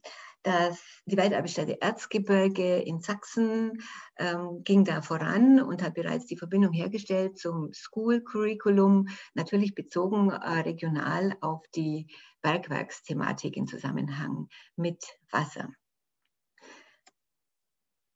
Allerdings äh, ist der Wasseraspekt auch hier schon ausgeweitet auf Fragen der Geologie und der Landschaftsentwicklung. Wir erhoffen uns natürlich weitere Ausdehnungen, spezifisch von den verschiedenen Welterbestätten ausgehend. Augsburg kann hier seinen Beitrag leisten mit unseren bereits entwickelten Arbeitsblättern, unseren Worksheets, die momentan noch in deutscher Sprache zur Verfügung stehen und unsere Experimentierkiste mit den Hands-on-Experiments, die natürlich besonders schwer digital zu vermitteln sind. Wir haben schon einen ersten Schritt in diese Richtung unternommen, jetzt im Zuge der digitalen Lehre an der Universität und haben für jedes Hands-on-Experiment ein Tutorial, einen kurzen YouTube-Film mit den ähm, Handhabungen des Experiments entwickelt, wobei uns zugute kam, dass wir Haushaltsgegenstände ähm, grundsätzlich ähm, eingeplant haben, sodass die Experimente auch in Eigenarbeit nachgestaltet werden können. Sie stehen jetzt natürlich vor der Übertragung in die englische Sprache, um sie im internationalen Markt zugänglich zu machen. Ich schließe mit dem ersten, der ersten Runde des Teacher Feedbacks. Die chinesische Kollegin ähm, war äh, überrascht von den Problemen, die deutsche Schüler mit der englischen Sprache haben Dazu äh, kam, die hatten Richtlinien für den deutschen Datenschutz, sodass Kinder und Jugendliche ihre Klarnamen nicht verwenden durften auf den Lernplattformen. Und für uns ähm, zum Teil überraschend war ähm, die Bemerkung, dass äh, unsere typischen 45-Minuten-Einheiten natürlich störend sind für die Arbeit am School-Curriculum. Neben diesen ersten ähm, skeptischen Rückwirkungen gibt es natürlich auch ähm, positive äh, Feedbacks. Es war besonders fruchtbar und äh, wurde als sehr hilfreich empfunden, in einer Online-Community, in Peer-Learning-Groups äh, zusammenzuarbeiten, hier den Horizont erweitern zu können. Lehrer waren sehr angetan ähm, bei der Feststellung, dass sie mit der vertieften ähm, Arbeit an dem Thema Wasser gleichzeitig ganz andere Lernziele abdecken konnten. Und was mir besonders äh, freut, ist, dass nicht vernachlässigt wurde, die Real-Life-Contacts ähm, in ihrer Bedeutung für das Schülerleben. Äh, es wurden äh, von den äh, Rückmeldungen ganz deutlich äh, Betonungen auf die Notwendigkeit von Exkursionen gelegt, wie wir es natürlich schon durchführen im regionalen Raum, sogar eins bis drei Tage. Und das erfüllte mich mit der Hoffnung, dass äh, nach Corona vielleicht sogar Exkursionen im europäischen Raum möglich werden zur ganzheitlichen Vermittlung dieses schönen und wichtigen Gedankes Wassererbe. Ich bedanke mich ganz herzlich für Ihre Aufmerksamkeit und freue mich auf ein Wiedersehen im neuen Welterbe-Informationszentrum am Rathausplatz in Augsburg, wo Sie diese Untersuchungsergebnisse gerne selbst nachvollziehen können. Vielen Dank. Ja, Professor Richter, vielen lieben Dank für den Input. Und ich glaube, das ist eine Einladung an Sie alle, doch dann einfach in den nächsten Tagen dann oder sobald die Ausstellung geöffnet hat, doch einmal vorbeizuschauen. Wenn Sie jetzt noch Fragen an unsere Referentin haben, bitte gerne das FA-Tool nutzen oder in den Chat. Ich habe eine Frage hereinbekommen und zwar kurz bevor Sie den letzten Teil angeschnitten haben des School Curriculums. Gibt es eine Möglichkeit, die digitalen Medien bzw. Inhalt äh, im Schulunterricht einzusetzen, auch ohne vor Ort zu sein, eventuell eine reine virtuelle Tour durch die Wasser, äh, Wasserwelterbestationen in Augsburg. Ist sowas in Planung oder könnte man vielleicht diese Ausstellung auch wirklich komplett digital mit VR mal besuchen? Da sprechen Sie ein heikles Thema an. Ich habe als Mitglied des UNESCO bereits natürlich frühen Zugang zu diesen Planungen für das Welterbezentrum äh, gehabt und habe versucht, die Universität Augsburg ins Spiel zu bringen, hier speziell den Lehrstuhl Medienpädagogik. Die Stadt Augsburg hat sich dann vermutlich auch aus Termingründen für eine Berliner Agentur entschieden, die spezialisiert ist auf Welterbestätten, aber natürlich mh, hm, vielleicht nicht unseren regionalen Zugang hatte. Also ich bin hoffnungsvoll, dass mit weiteren äh, Projekten genau dieses Angebot auch erfüllt werden kann. Wobei ich ähm, bei aller Wertschätzung dieser Virtual Reality ähm, ein persönliches ähm, Anliegen darin sehe, gerade für Schüler im Primarschulalter unbedingt diesen persönlichen Zugang in der unterrichtlichen Verordnung immer mit einzubeziehen. Ich meine, dass auch virtuelle, digitale Zugänge immer eingebunden sein müssen in Vor- und Nachbereitung des konkreten Zugangs, speziell in dieser Altersgruppe. Im Hinblick eventuell auf europäische Exkursionen könnte man sich das zum Beispiel überlegen, vor allem in Hinsicht äh, auf Corona und allem. Aber sonst ja auch hands-on wirklich. Und wenn man schon vor Ort ist, glaube ich, muss man die Chance einfach nutzen und das Wasserwelterbe hier in Augsburg auch einmal live erleben. Ja, ich sehe, dass keine weitere Frage reingekommen ist, aber ich bedanke mich nochmal recht herzlich, Professor Richter, dass Sie sich heute die Zeit genommen haben, um über dieses tolle Projekt äh, zu referieren und zu erzählen. Und ich bin schon sehr gespannt auf die Ausstellung und werde definitiv auch einmal vorbeischauen. Das freut mich sehr. Vielen Dank. Ja, als dritten Vortragenden in der heutigen Reihe darf ich Herrn Professor Dr. Andreas Hartinger vorstellen. Er ist äh, Lehrstuhlinhaber für Grundschulpädagogik und Grundschuldidaktik und er ist auch im Projekt LEHET, Lehrprofessionalität im Umgang mit Heterogenität, das ich vorhin schon einmal erwähnt habe, tätig. Und er bereichert dieses Projekt nicht zuletzt, da er auch selbst als Lehrer gearbeitet und tätig war im Schulalltag. Professor Hartinger wird uns jetzt das Konzept der Lernentwicklungsgespräche vorstellen, die das klassische Zeugnis ersetzen können. Aber ich möchte gar nicht so viel vorwegnehmen und übergebe nun an Professor Hartinger und freue mich sehr auf Ihren Input. Vielen Dank. Ja, vielen herzlichen Dank für die freundliche Begrüßung. Der Titel des heutigen kurzen Vortrags ist so bisschen flapsig irgendwie gewählt. Zunächst mal so Lernentwicklungsgespräche, sind sie hilfreich oder verbesserungswürdig? Ich verspreche Ihnen, dass ich am Ende des Vortrags eine Antwort zumindest geben werde. Versuche Antworten auf folgende Fragen. Zum einen, was sind überhaupt Lernentwicklungsgespräche? Ganz kurz dann, was kann man sich von solchen Lernentwicklungsgesprächen erhoffen? Möchte Ihnen dann ein paar Befunde aus einer empirischen Studie zeigen, die wir durchgeführt haben, nämlich wie gut so diese Hoffnungen zurzeit erfüllt werden und was noch zu tun ist und was wir an der Uni Augsburg dabei tun. Ich habe jetzt ein paar Mal in Wir gesprochen. Das liegt daran, dass dieses Projekt nicht allein durchgeführt ist, sondern federführend von Kollegin Sonja Ertl. Sie ist jetzt zurzeit Juniorprofessorin in Erlangen-Nürnberg, war vorher als Assistentin am Lehrstuhl hier tätig. Und Benjamin Kücherer, der heute auch hier ist, äh, ist als Projektmitarbeiter hier eingestellt und leistet wertvolle Tätigkeiten. Zur ersten Frage, was sind Lernentwicklungsgespräche überhaupt? Sie sehen hier mal stilisiert zwei Personen, nämlich eine Lehrperson und einen Schüler oder Schülerin, die miteinander reden. Sie sehen an diesem Tisch dann auch noch ein E für Eltern oder Erziehungsberechtigte und noch ein Fragezeichen. Es können manchmal andere Personen dabei sein, wie beispielsweise Dolmetscherinnen oder besondere Förderer bei Kindern mit besonderem Förderbedarf. Üblicherweise sollte dieses Gespräch 15 bis 30 Minuten dauern und üblicherweise ist es auch so, dass im Vorfeld die Schülerinnen und Schüler eine Selbsteinschätzung über sich selber gemacht haben und dass die Lehrpersonen auch eine Fremdeinschätzung durchgeführt haben. Meistens geschieht das in so einem Dokumentationsbogen und relativ häufig sind die beiden Bögen auch parallelisiert, sodass sie dann im Gespräch auch verglichen werden können. Am Ende dieses Lernentwicklungsgesprächs werden häufig so zwei bis drei Ziele vereinbart, die auf Seiten der Schülerinnen und Schüler dann eben erreicht werden sollten. Umgekehrt aber auch die Anspruch an die Lehrpersonen ist, dass sie die Schülerinnen und Schüler beim Erreichen dieser Ziele natürlich auch unterstützen. In Bayern ist es so, dass es in den Jahrgangsstufen 1 bis 3 als Zwischenzeugnisersatz gelten kann. In der Zwischenzeit seit dem letzten Jahr auch als Zeugnisersatz. Allerdings ist durch die Corona-Situation sind die Lernentwicklungsgespräche natürlich ganz schön nach unten gegangen, weil in dieser Situation man jetzt nicht wollte, dass Lehr äh, Eltern mit den Schülerinnen und Lehrpersonen viel im Klassenzimmer dann auch sind. Wir hoffen aber sehr, sehr stark, dass es wieder weitergeht. Apropos Hoffnungen. Also welche Hoffnungen hat man denn an solche Lernentwicklungsgespräche? Und die sind eigentlich relativ viel.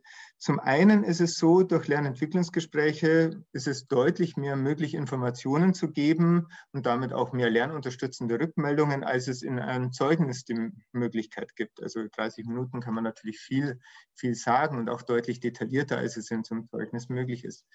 Damit erhofft man sich dann auch eine höhere Lernmotivation. Man weiß, dass Informationen immer ein wesentliches Element von Motivation sind. Man kann sich auch erhoffen, dass diese Zielsetzungen, die nachher miteinander vereinbart werden, dass die auch relativ passend sind, weil sie adaptiv sind. Es ist ja keine Zielsetzung für die ganze Klasse, sondern die in dem einzelnen Gespräch zwischen Schüler, Schülerin und der Lehrperson erreicht wird. Also von daher kann man auch da hoffen, dass Lernen unterstützt wird. Und man kann sich auch mit Blick auf Motivation wieder hoffen, dass sich die Schülerinnen und Schüler stärker wertgeschätzt werden, weil zum Beispiel die individuelle Lernentwicklung berücksichtigt wird. Sie, das Ganze heißt ja Lernentwicklungsgespräch und nicht Lernstandsgespräch. Also mit der Idee, es sollte auch aufgezeigt werden, was haben denn Kinder im letzten halben Jahr alles auch gelernt weil auch die eigene Einschätzung wichtig ist. Das ist ein Zeichen von Wertschätzung und auch, weil es die Schülerinnen und Schüler natürlich auch eigene Ziele setzen können. Jetzt kommt aber ein großes Aber, das ich zunächst mal mit einer ein bisschen älteren Studie aufzeigen will, die zunächst mal nichts mit Lernentwicklungsgesprächen zu tun hat und die von Kollegin Renate Faltin in der Humboldt-Universität Berlin durchgeführt worden ist und 2002 auch veröffentlicht wurde. Faltin verglich die Auswirkungen von Ziffernoten versus Verbalbeurteilungen. Also, und bei Verbalbeurteilungen gilt Ähnliches wie bei den Lernentwicklungsgesprächen. Man kann natürlich auch hoffen, wieder hier, dass deutlich mehr Informationen gegeben werden, als in den vergleichsweise nüchternen 2, 3, 4 oder Ziffern, die gegeben sind, wo man natürlich nur ein gewisses Tendenz weiß, aber man weiß keine Details. Und in Verbalbeurteilungen ist es ja natürlich möglich, diese Informationen zu geben, auch Stärken aufzuzeigen und ähnliches. Der erste zentrale Befund von Faltin war allerdings, es gab keinerlei Vorteile der Wahlbeurteilungen, weder auf Motivation noch auf Selbstkonzept noch dann auf das weitere Lernen. Und der zweite Befund war allerdings folgender. Die Verbalbeurteilungen waren weitestgehend Übersetzungen der Ziffernnoten in Textform.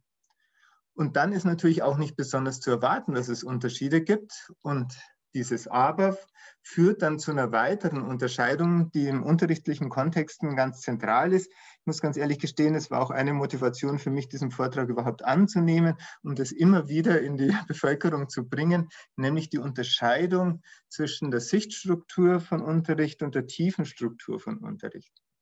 Man bekommt es in vielen pädagogischen Diskussionen mit und, und, über Unterricht wird ja auch gern diskutiert, dass vielerlei auf Sichtstruktur diskutiert wird.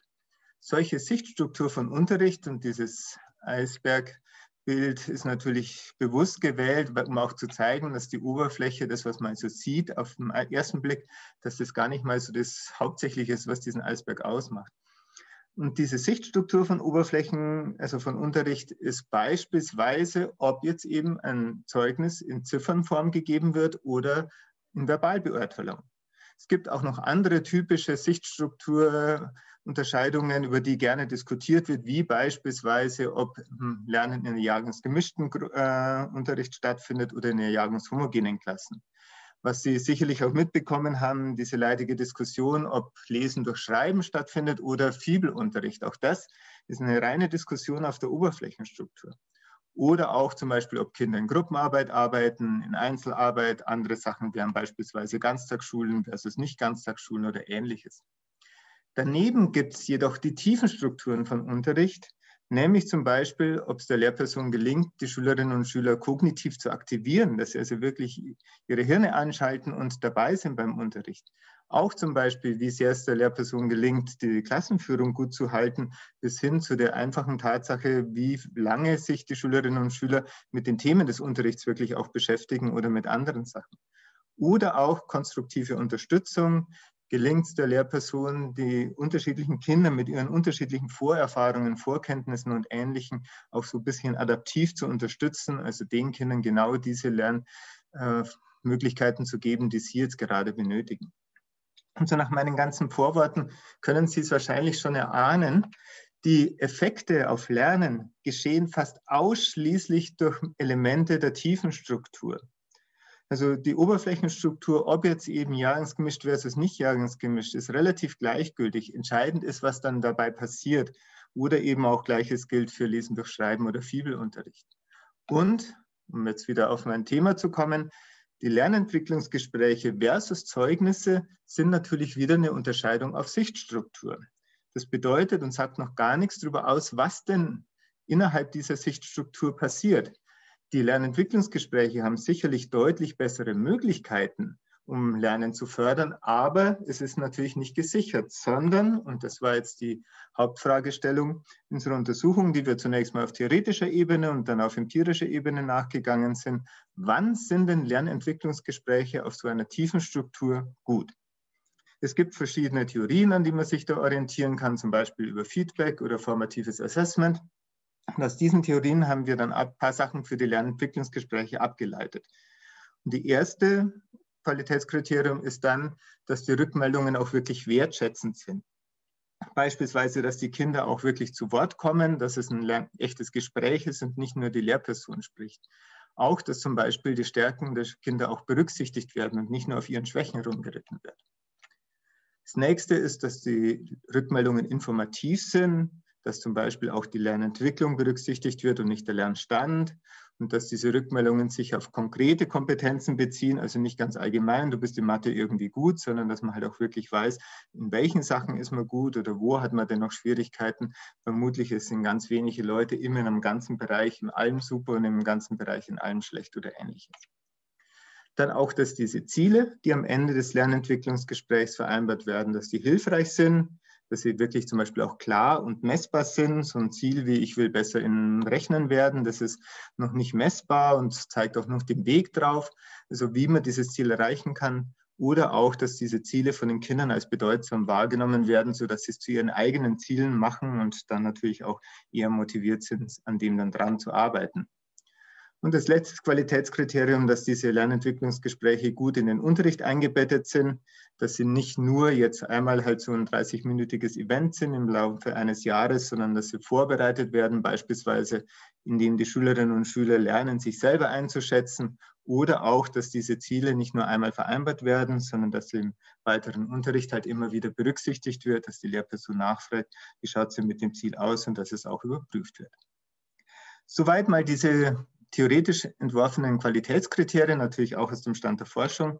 Jetzt der Blick ins echte Leben. Die Grundschulpädagogik und Didaktik an der Uni Augsburg ist empirisch äh, ausgerichtet. Also wir versuchen dann diese Theorien auch so zu überprüfen, indem wir in die Klassenzimmer gehen und schauen, was passiert denn dort in den Schulen. An der Studie, an, von der ich Ihnen jetzt berichten werde, beteiligten sich insgesamt 39 Lehrpersonen.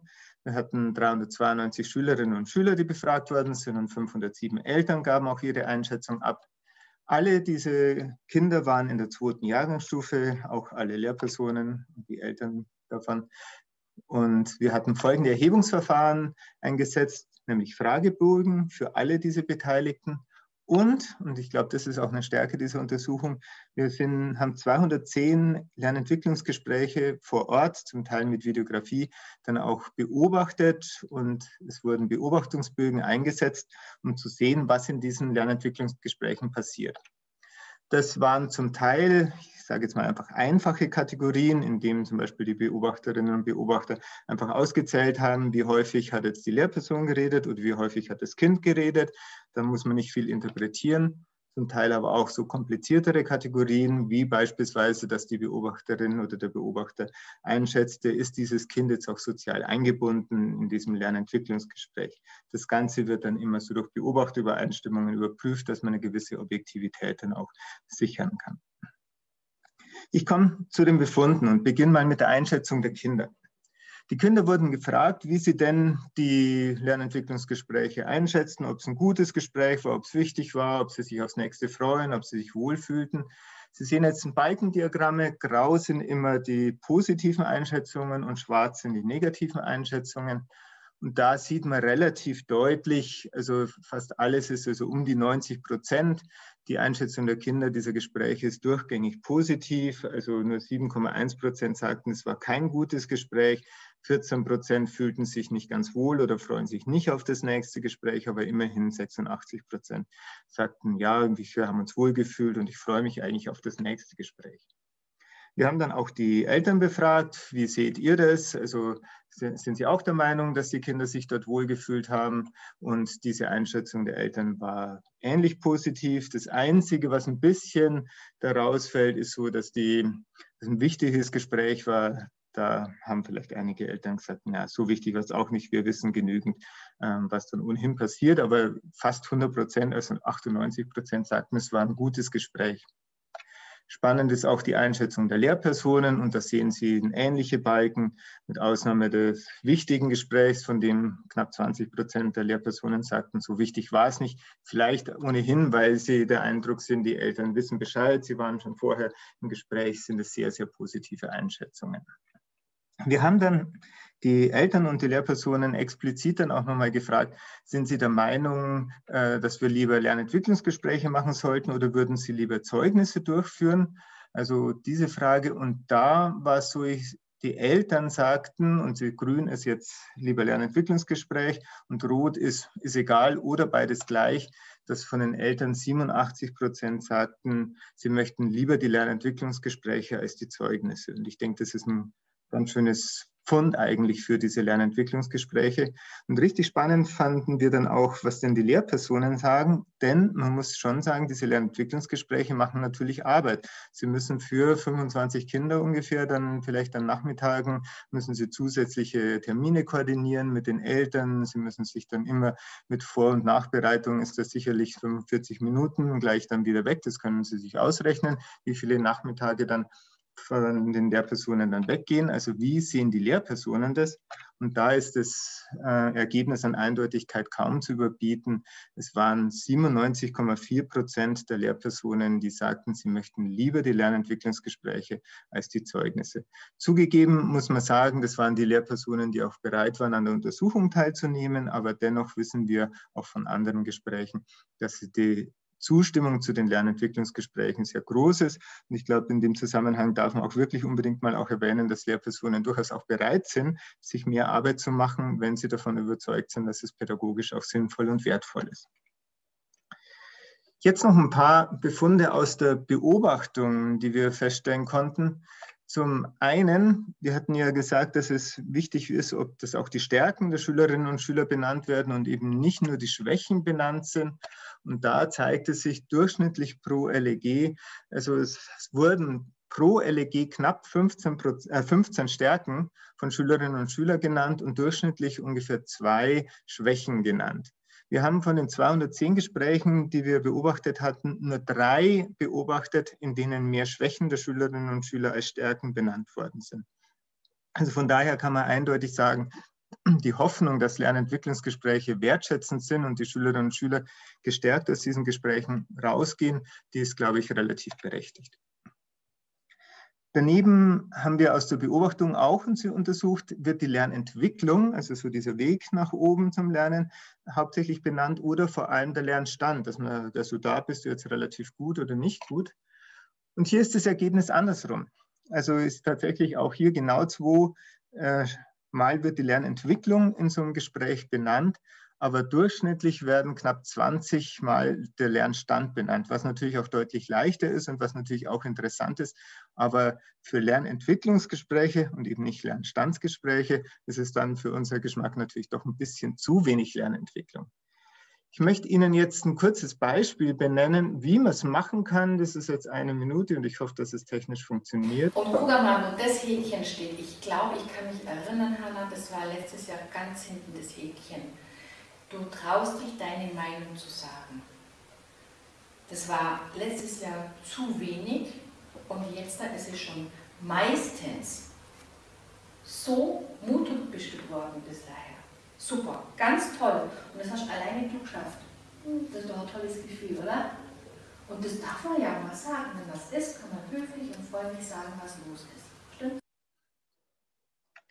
Da sieht man, glaube ich, so ungefähr alles, was ein gutes Lernentwicklungsgespräch ausmacht. Fast alles. Das Kind kommt nicht zu Wort, aber die Mutter hält sich im Hintergrund. Die Lehrperson geht auf die Lernentwicklung ein, sagt es vor einem Jahr hattest du das noch gar nicht und jetzt bist du da schon so gut geworden.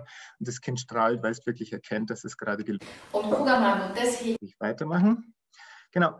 Jetzt zu den vereinbarten Zielen noch auch da, das Bild deutet es ja schon ein klein bisschen an, da ist der Befund nicht so wahnsinnig positiv. Nicht mal eine Woche später. Wir haben es nämlich so gemacht, dass die Kinder immer den Fragebogen am Montag nach diesem Lernentwicklungsgespräch ausgefüllt hatten. Da war es manchmal halt drei Tage oder manchmal fünf Tage weg vorbei schon. Die Frage war, ich erinnere mich an meine Ziele. Und immerhin, also 311, also das sind gut 80 Prozent der Kinder, haben sich schon noch daran erinnert, aber fast 20 Prozent nicht mehr. Und das ist für unser Gefühl dann auch ein bisschen zu viel. Also 20 Prozent nach nicht mal einer Woche, da kann man sich vorstellen, was nach zwei, drei Wochen passiert, wenn eben nicht mehr weitergearbeitet wird mit diesen Zielen. Die Qualität der Lernentwicklungsgespräche ist von daher auch für uns relativ wichtig, weil wir feststellen konnten, dass diese Qualität sich tatsächlich auswirkt auf die Motivation, also auf die Anstrengungsbereitschaft der Schülerinnen und, äh, und auch auf das Selbstkonzept, das sich gestärkt wurde.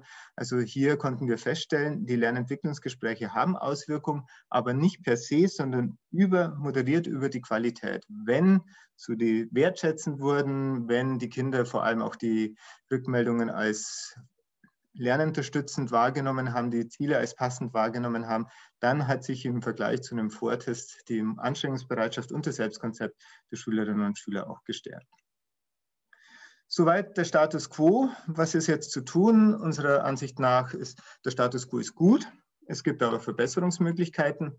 Wir haben deswegen auch ein, so einen Praxisleitfaden geschrieben, Sonja Ertel, die damals noch Dollinger hieß, ähm, mit Kolleginnen und Kollegen aus einer professionellen Lerngemeinschaft, aus der Unterrichtswirklichkeit. Die haben dort fleißig mitgeschrieben und versucht, diese Praxisbausteine so zu darzustellen, dass man auch, was man vorher machen kann, was man während des Gesprächs machen kann und sollte und was nachher zu tun ist es, wir gehen schwer davon aus, dass die Qualität der Lernentwicklungsgespräche viel mit der Professionalität der Lehrpersonen zu tun hat, mit dem Wissen, mit ihren Überzeugungen.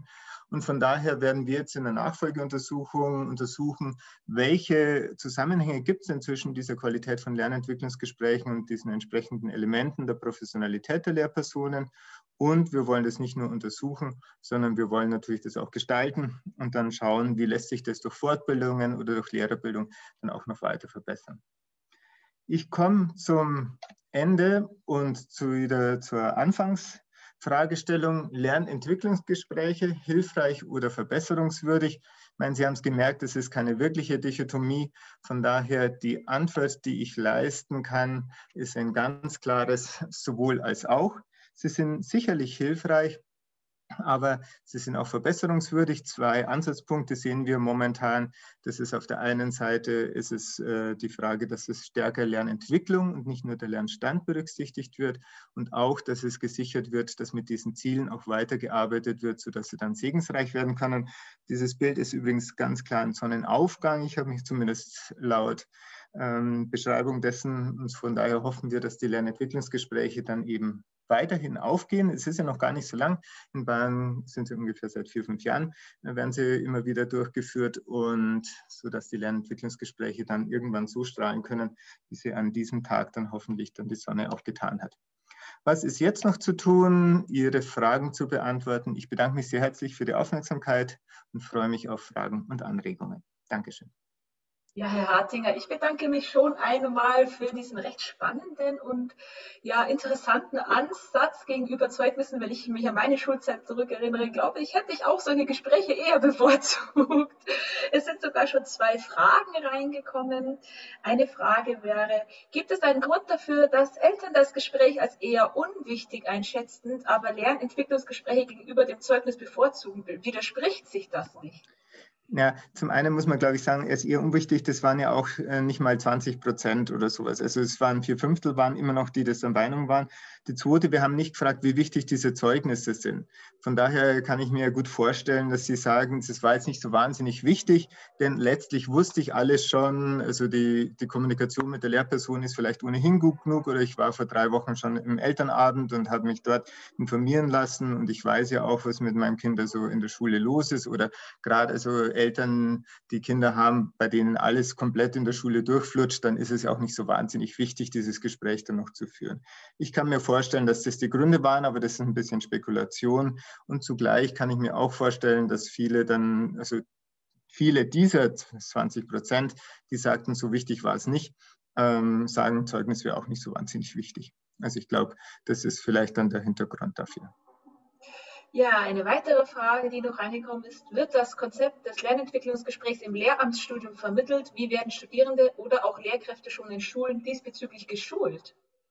Ja, ich meine, der Punkt ist natürlich der, also in vielerlei Hinsicht werden sie geschult. Also noch nicht unbedingt jetzt gerade direkt zu Lernentwicklungsgesprächen, wo dann so auch Gesprächs-, Beratungselemente und ähnliches da sind. Also beziehungsweise sie werden in dem Bereich zum Teil geschult und können diese allgemeinen Sachen dann natürlich auch auf Lernentwicklungsgespräche einwenden. Ein wesentlicher Punkt von Lernentwicklungsgesprächen ist natürlich auch, dass die Informationen, die von den Lehrpersonen kommen, auch passen.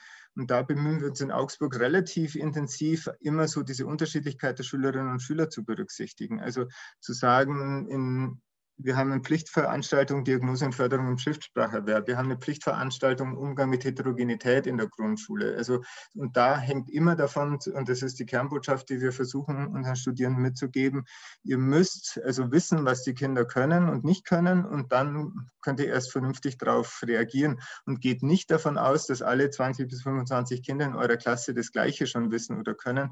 Von daher muss man irgendwie unterschiedliche Angebote auch zur Verfügung stellen. Also von daher es gibt noch keine direkten Kurse, weil wir auch nicht besonders viele äh, Veranstaltungen haben. In den Aufbaumodulen haben wir insgesamt nur sechs Seminare, wo es so direkt um die Lernentwicklungsgespräche geht. Aber wir hoffen natürlich stark durch all das, was wir Ihnen Studierenden mitgeben, so mit äh, Diagnose und Förderung oder sowas, dass wir das, dass wir das auf die Lernentwicklungsgespräche auch umsetzen können. Aber wir bereiten gerade, also nächsten Mittwoch haben wir in Dillingen eine große Fortbildung, also zum Beispiel zu Lernentwicklungsgesprächen. Sie haben ja auch den Zeitfaktor vor allem für Lehrkräfte angesprochen. Da kommt die passende Frage dazu. Die Klassen sind mittlerweile sehr groß, was die Anzahl der SchülerInnen betrifft. Wäre es hilfreicher für die Lernentwicklung, kleinere Klassen zu bilden? Ja, das ist tatsächlich eine empirisch nicht so ganz, ganz klar beantwortete Frage. Auch hier gilt wieder das ein Merkmal auf Oberflächenstruktur, das, von dem man Elemente auf Tiefenstruktur erwarten kann. Es ist natürlich leichter, wenn ich nur zehn Kinder habe, ähm, bei denen zum Beispiel eine adaptive, konstruktive Unterstützung zu geben, als wenn ich eine Klasse mit 50 Schülerinnen und Schülern habe. Aber entscheidend ist tatsächlich immer, was darunter verbirgt. Grundsätzlich ist es immer so, je weniger Schülerinnen und Schüler, also bis hin zu einer kritischen Grenze, wo dann auch so dieses gemeinsame Lernen vielleicht nicht mehr so gut funktioniert, äh, ist es dann schon auch sinnvoll, dass die Klassen eher kleiner sind. Ja, ich glaube, das waren alle Fragen. Oh nein, noch einiges gerade hier reingeflutscht. Aus der Praxis weiß ich, dass vor allem der zeitliche Aspekt ein Problem darstellt. Es war kaum möglich, die Gespräche in 15 bis 30 Minuten durchzuführen, wenn die Kinder ebenfalls ausreichend zu Wort kommen sollen. Gibt es dazu Erfahrungen aus der Studie? Könnte ich jetzt gegebenenfalls eventuell an, ähm, an Herrn Kücherer abgeben, der mehr Gespräche beobachtet hat als ich. Aber ich glaube, also es ist sicherlich so, dass es bei manchen Gesprächen funktioniert. Ich war selber bei den Entwicklungsgesprächen meiner Tochter mit dabei. Die kamen schon zu Wort und die haben es in 25 Minuten geschafft. Wahrscheinlich, ich weiß aber nicht genau, ob man da genaue Hinweise geben kann. Also ich könnte noch äh, ergänzend sagen, dass ähm, 15 bis 30 Minuten die Theorie wäre. Es gibt natürlich aber auch Gespräche, die 15 Minuten, aber es gibt auch Gespräche, die fast eine Stunde gedauert haben. Und manche haben sich dann auch äh, nicht den kompletten Bogen angeschaut, sondern einzelne Bereiche rausgepickt, wo die Schüler vielleicht besonders gut oder schlecht waren. Mhm. Und diese Berücksichtigung von Kindern mit dem mit unterschiedlichen Hintergründen, das haben wir am Schirm, war jetzt in dieser Studie nicht der, der vorrangige, ähm, einfach der vorrangige Fokus. Man muss sich dann einfach auch irgendwie konzentrieren, weil es dann natürlich auch wieder schwieriger gewesen wäre, wie diese Gesprächssituation dann auch einzuschätzen ist. Aber natürlich ist es eine wichtige Fragestellung, die wir grundsätzlich auch am Schirm haben und weiter bearbeiten werden. Genau, damit haben Sie die letzte Frage eigentlich, glaube ich, ja, schon gut beantwortet. Es kam auch keine weitere rein. Deswegen bedanke ich mich nochmal, Herr Hartinger, dass Sie sich heute die Zeit genommen haben, das Prinzip vorgestellt haben und Ihre Studie und auch an den Herrn Klicherer, der sich da gerade noch mit dazugeschaltet haben. Vielen Dank, dass Sie heute hier sind und auch der Veranstaltung beiwohnen. Ja, ich bedanke mich nochmal recht herzlich. Gerne kommen wir auch schon zum letzten Thema, zum letzten Bereich des heutigen Themensamstags. Denn zum Abschluss darf ich Ihnen Sonja Herkönen ankündigen. Sie ist Mitarbeiterin der Universitätsbibliothek Augsburg. Und sie setzt sich nicht nur in ihren Publikationen für frei zugängliche wissenschaftliche Publikationen im Netz ein, und zwar zum sogenannten Open Access. Und vor allem in Hinsicht auf Fake News oder auch dieser Schnelllebigkeit von Nachrichten in sozialen Medien gewinnt einfach diese Qualität von wissenschaftlichen Informationen immer mehr Bedeutung und eben auch die Zugänglichkeit. Und Frau Herkönnen wird äh, nun uns einige Open Access Webseiten vorstellen und auch den ein oder anderen Tipp für wissenschaftliche Recherche darlegen. Ich freue mich schon sehr und bin gespannt. Vielen Dank, Frau Herkönnen. Ja, vielen Dank für diese Einführung. Ähm, ich möchte Ihnen heute ähm, etwas zum Thema Open Access sagen ähm, und fange natürlich an, erstmal damit, äh, mich so ein bisschen vorzustellen, obwohl äh, das ja auch gerade schon äh, schön passiert ist. Ich möchte Ihnen natürlich auch sagen, was Open Access überhaupt ist. Ähm, dann zeige ich Ihnen ein paar Tools, die Sie nutzen können, um diese frei zugängliche Literatur zu finden im Internet ähm, und gehe noch so ein bisschen ähm, darauf ein, wie wir Sie in der Universitätsbibliothek Augsburg ähm, bei ähm, dem Thema Open Access unterstützen können. Und als letztes gebe ich Ihnen noch so ein paar Tipps mit auf den Weg, was Sie in Zukunft dann auch selber machen können, um diese Open Access Publikationen weiter nutzen zu können ähm, und, äh, und das noch weiter ähm, vertiefen zu können, dieses Thema. Wer bin ich? Äh, die Kollegin hat das äh, schon schön angekündigt. Äh, meine Tochter hat ein bisschen andere Sicht auf mich. Sie sieht mich so. Ähm, ein Kollege aus Großbritannien, wo ich vorher gearbeitet habe, hat mich so gesehen. und ich persönlich sehe mich dann eher so. Also ich bin auch nach fast 20 Jahren äh, im Dienst als Bibliothekarin äh, immer noch begeisterungsfähig ähm, und äh, enthusiastisch mit dabei. Ich äh, bin aus Herz, mit Herzblut äh, Bibliothekarin und äh, leite jetzt schon insgesamt seit zehn Jahren den Bereich Open Access, vorher in Großbritannien ähm, an der Cardiff University und jetzt seit 2018 hier in Augsburg.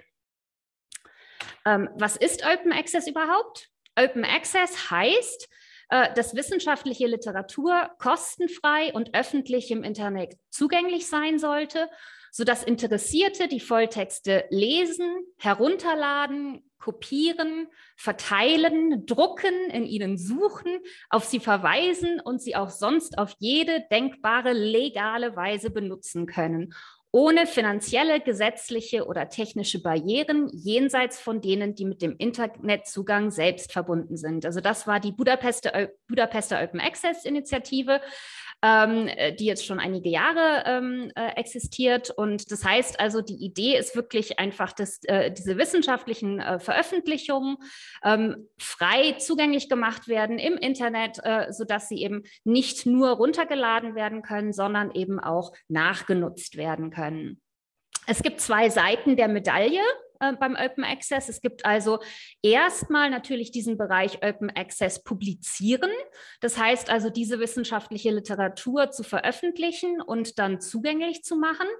Und die andere Seite der Medaille ist dann das Rezipieren. Das heißt also, diese öffentlich zugänglichen äh, Publikationen aufzufinden, äh, danach zu recherchieren und die dann nutzen zu können. Und darum geht es heute in meinem Beitrag. Ähm, warum lohnt es sich? Open Access Publikationen zu nutzen. Ähm, es gibt Vorteile, die auf der Hand liegen. Äh, natürlich äh, die Tatsache, dass ähm, es also frei zugänglich im Internet ist. Das heißt also, es ist rund um den Globus zugänglich, natürlich auch rund um die Uhr.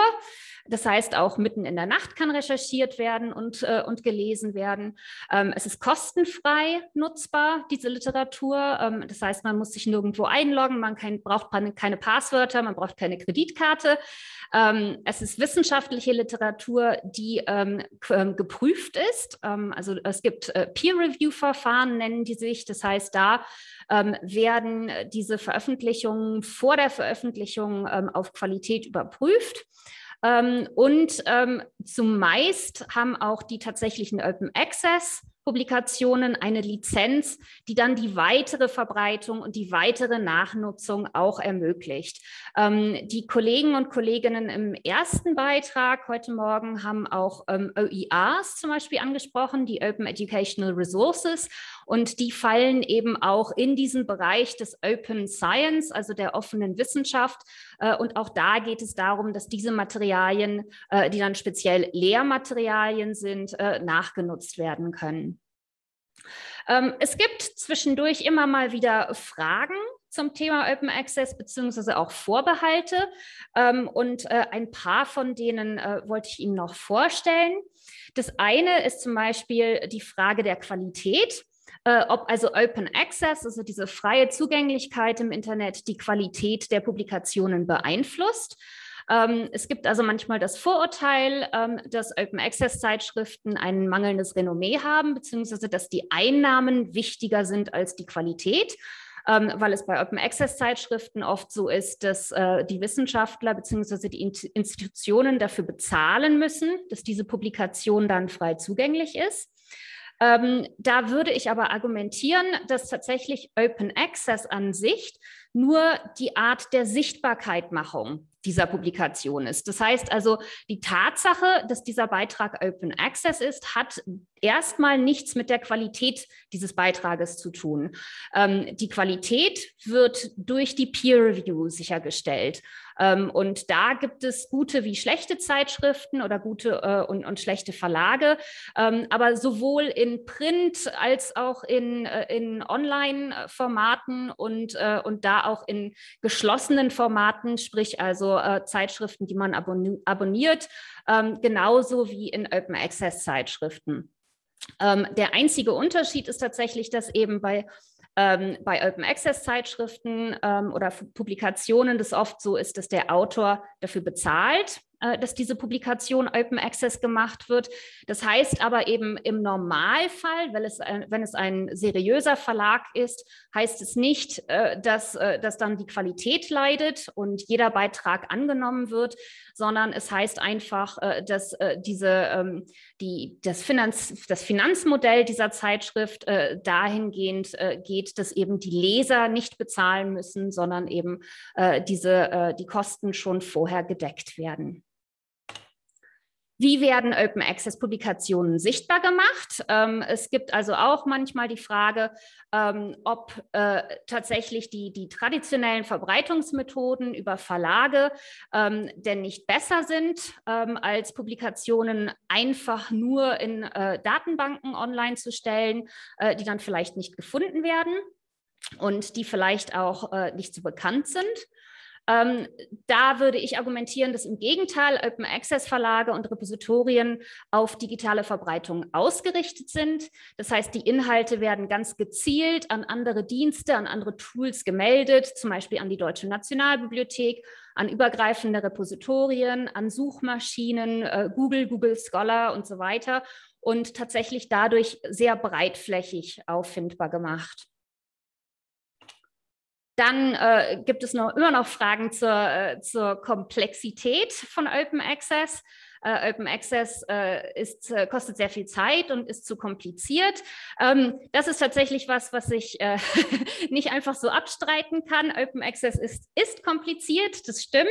Ähm, aber ähm, ich äh, würde da ähm, sagen, dass wir als Bibliotheksmitarbeiter und Mitarbeiterinnen ähm, natürlich äh, prädestiniert sind, sie zu unterstützen.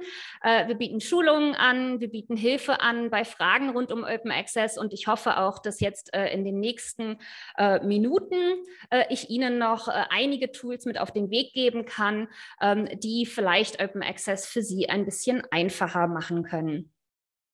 Ähm, ich möchte Ihnen jetzt im Folgenden ähm, einige Tools vorstellen, die Sie für Ihre eigenen Recherchen ähm, nach Open Access Publikationen nutzen können. Ähm, wenn Sie Bücher suchen, ähm, gibt es äh, Google Books, was Sie vielleicht schon kennen. Es gibt aber auch äh, das internationale Directory of Open Access Books. Ähm, ich zeige Ihnen gleich noch so ein paar von den Tools, aber ich äh, gebe Ihnen erstmal diese Übersicht mit auf den Weg. Ähm, für Zeitschriften gibt es äh, ein Äquivalent, äh, das DOAJ, das Directory of Open Access Journals. Ähm, dann gibt es zum Beispiel, wenn Sie äh, auf der Suche nach Dissertationen sind, verschiedene Services, die sich ähm, äh, geografisch ähm, auf bestimmte Gebiete ähm, äh, fokussiert haben. Es gibt also BASE, ähm, das sich auf deutsche äh, Dissertationen fokussiert hat. Es gibt Ethos äh, für Großbritannien. Es gibt Dart Europe für europäische Dissertationen und dann Open Theses für die USA. Ähm, dann gibt es noch ganz, ganz viele verschiedene ähm, Datenbanken, äh, die Digitalisate verzeichnen und zugänglich machen. Das heißt also Publikationen, die eigentlich in Print vorerst erschienen sind und dann online gestellt werden, also quasi zweitveröffentlicht werden. Äh, das ist unter anderem die Deutsche Digitale Bibliothek, ähm, dann auf europäischer Ebene die Europäer ähm, Sammlung. Und dann gibt es hier auch regional äh, digitale Sammlungen im Bibliotheksverbund Bayern, an denen sich natürlich auch die Uni Augsburg mit beteiligt. Es gibt verschiedene Suchmaschinen, die ganz speziell Open Access Publikationen verzeichnen und die dann auch zugänglich machen.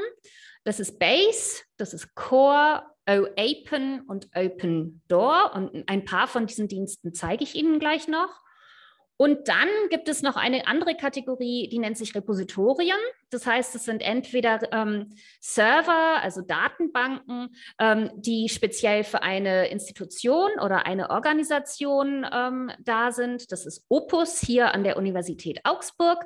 Ähm, und es gibt aber auch Fachrepositorien, die sich eben ganz speziell auf einen bestimmten Fachbereich oder ein bestimmtes Fachgebiet konzentrieren.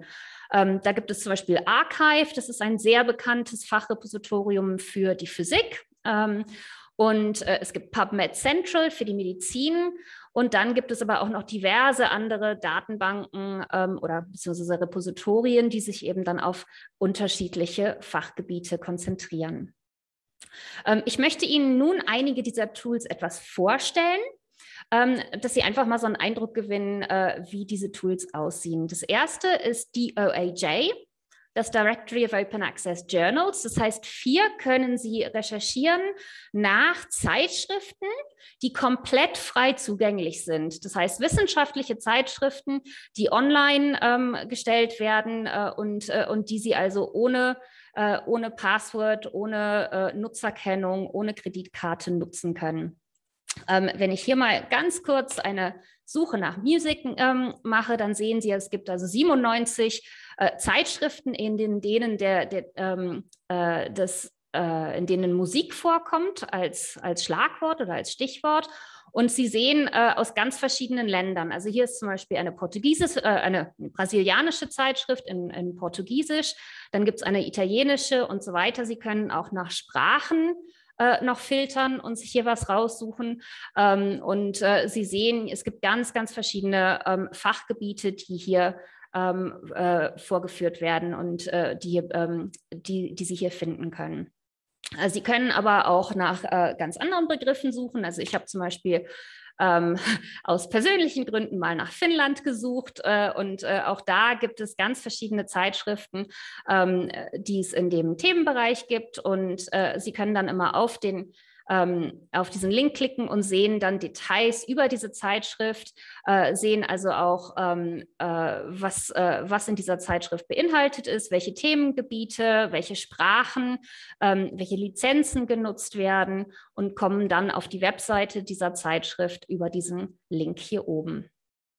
Wichtig ist bei allen Online-Ressourcen, ähm, was vorhin auch schon angesprochen wurde ähm, in Bezug auf die ähm, Materialien, die Studienmaterialien für, ähm, für Lernende, ähm, dass sie sich äh, selber angucken, ob diese Zeitschrift oder ob diese Publikation äh, ihren Qualitätskriterien entspricht und äh, so hat auch dieses Verzeichnis, dieses DOAJ-Verzeichnis, immer Informationen darüber hinterlegt, äh, wie diese Zeitschrift zum Beispiel Qualitätskontrolle vornimmt, ähm, wer hinter dieser Zeitschrift steht, ähm, also welche Herausgeber es gibt zum Beispiel.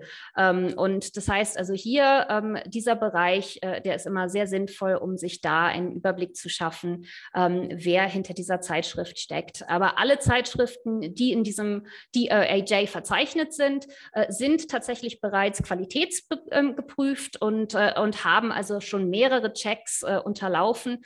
Ähm, das heißt, Sie können sich hier sicher sein, dass das also wissenschaftliche Publikationen sind, äh, die Sie auch nutzen können, äh, ohne Bedenken zu haben. Ähm, des Weiteren gibt es eben das Äquivalent zu DOAJ, das DOAB für Bücher. Ähm, auch da kann man natürlich eine ganz einfache Suche machen, wie Sie das auch in Suchmaschinen kennen.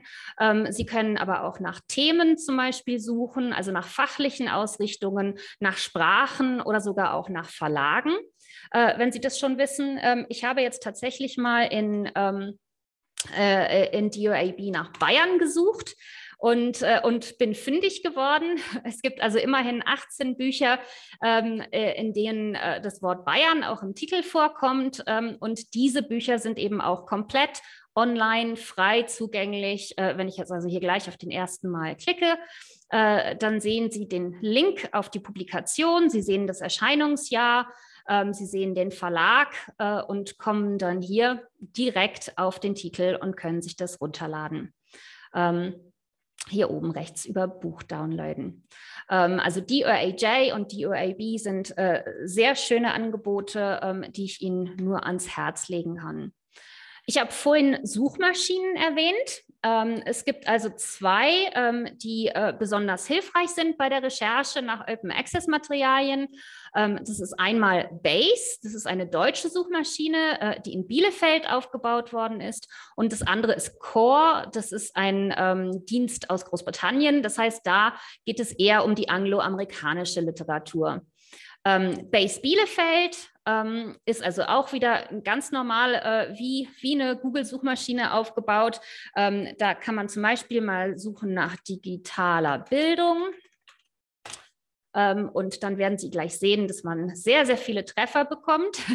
Ähm, und äh, Sie sehen hier sofort an diesen Open Access Symbolen, dass diese, ähm, diese Publikationen dann frei zugänglich sind. Das heißt, auch hier ähm, kann man dann auf einen Titel klicken, bekommt noch ein paar mehr Informationen und kann sich dann sofort das PDF runterladen. Ähm, also das ist die ähm, diese Suche in Base, Base Bielefeld.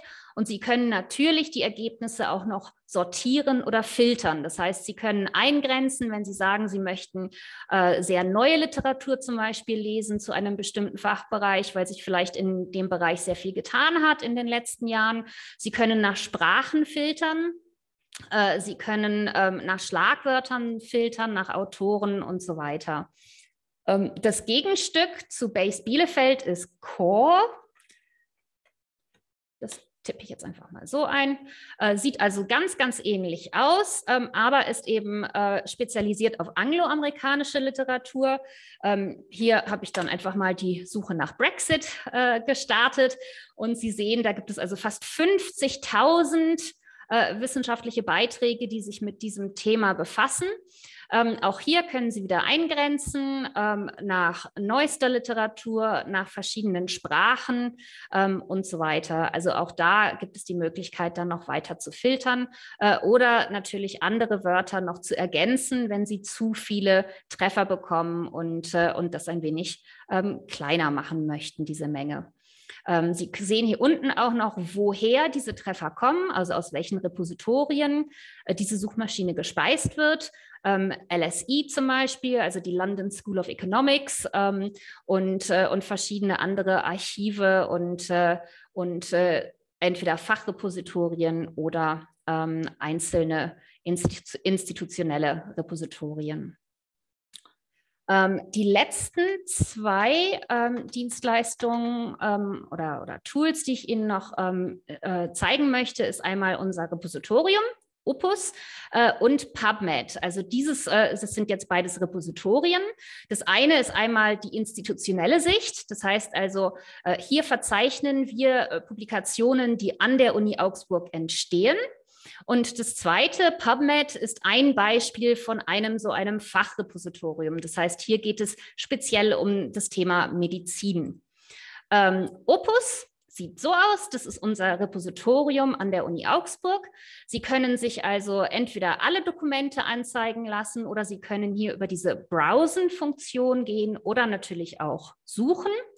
Ähm, schön ist bei uns, dass Sie also zum Beispiel nach Einrichtungen äh, recherchieren können. Das heißt, Sie können sich eine Fakultät raussuchen. Sie können sich auch die Grundschulpädagogik raussuchen, äh, die gerade schon erwähnt worden ist. Äh, hier sind äh, einige Publikationen von Professor Hartinger zum Beispiel verzeichnet, ähm, aber auch von den Kollegen Herrn Siegel, ähm, Frau Mattes natürlich etc. Also ähm, alle, wir versuchen alle Publikationen unserer wissenschaftlichen Mitarbeiter, Mitarbeiterinnen hier zu verzeichnen.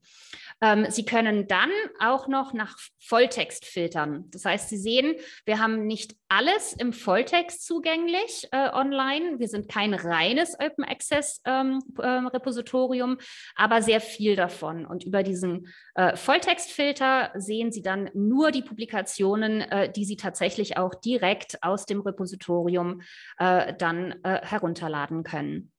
Hand in Hand mit dem Repositorium äh, geht die Funktion, ähm, dass wir auch diese Publikationslisten für einzelne Autoren ähm, auf den Seiten der Wissenschaftler ähm, direkt ähm, darstellen können. Also hier ist das Beispiel von Herrn Brütting beispielsweise aus der Physik.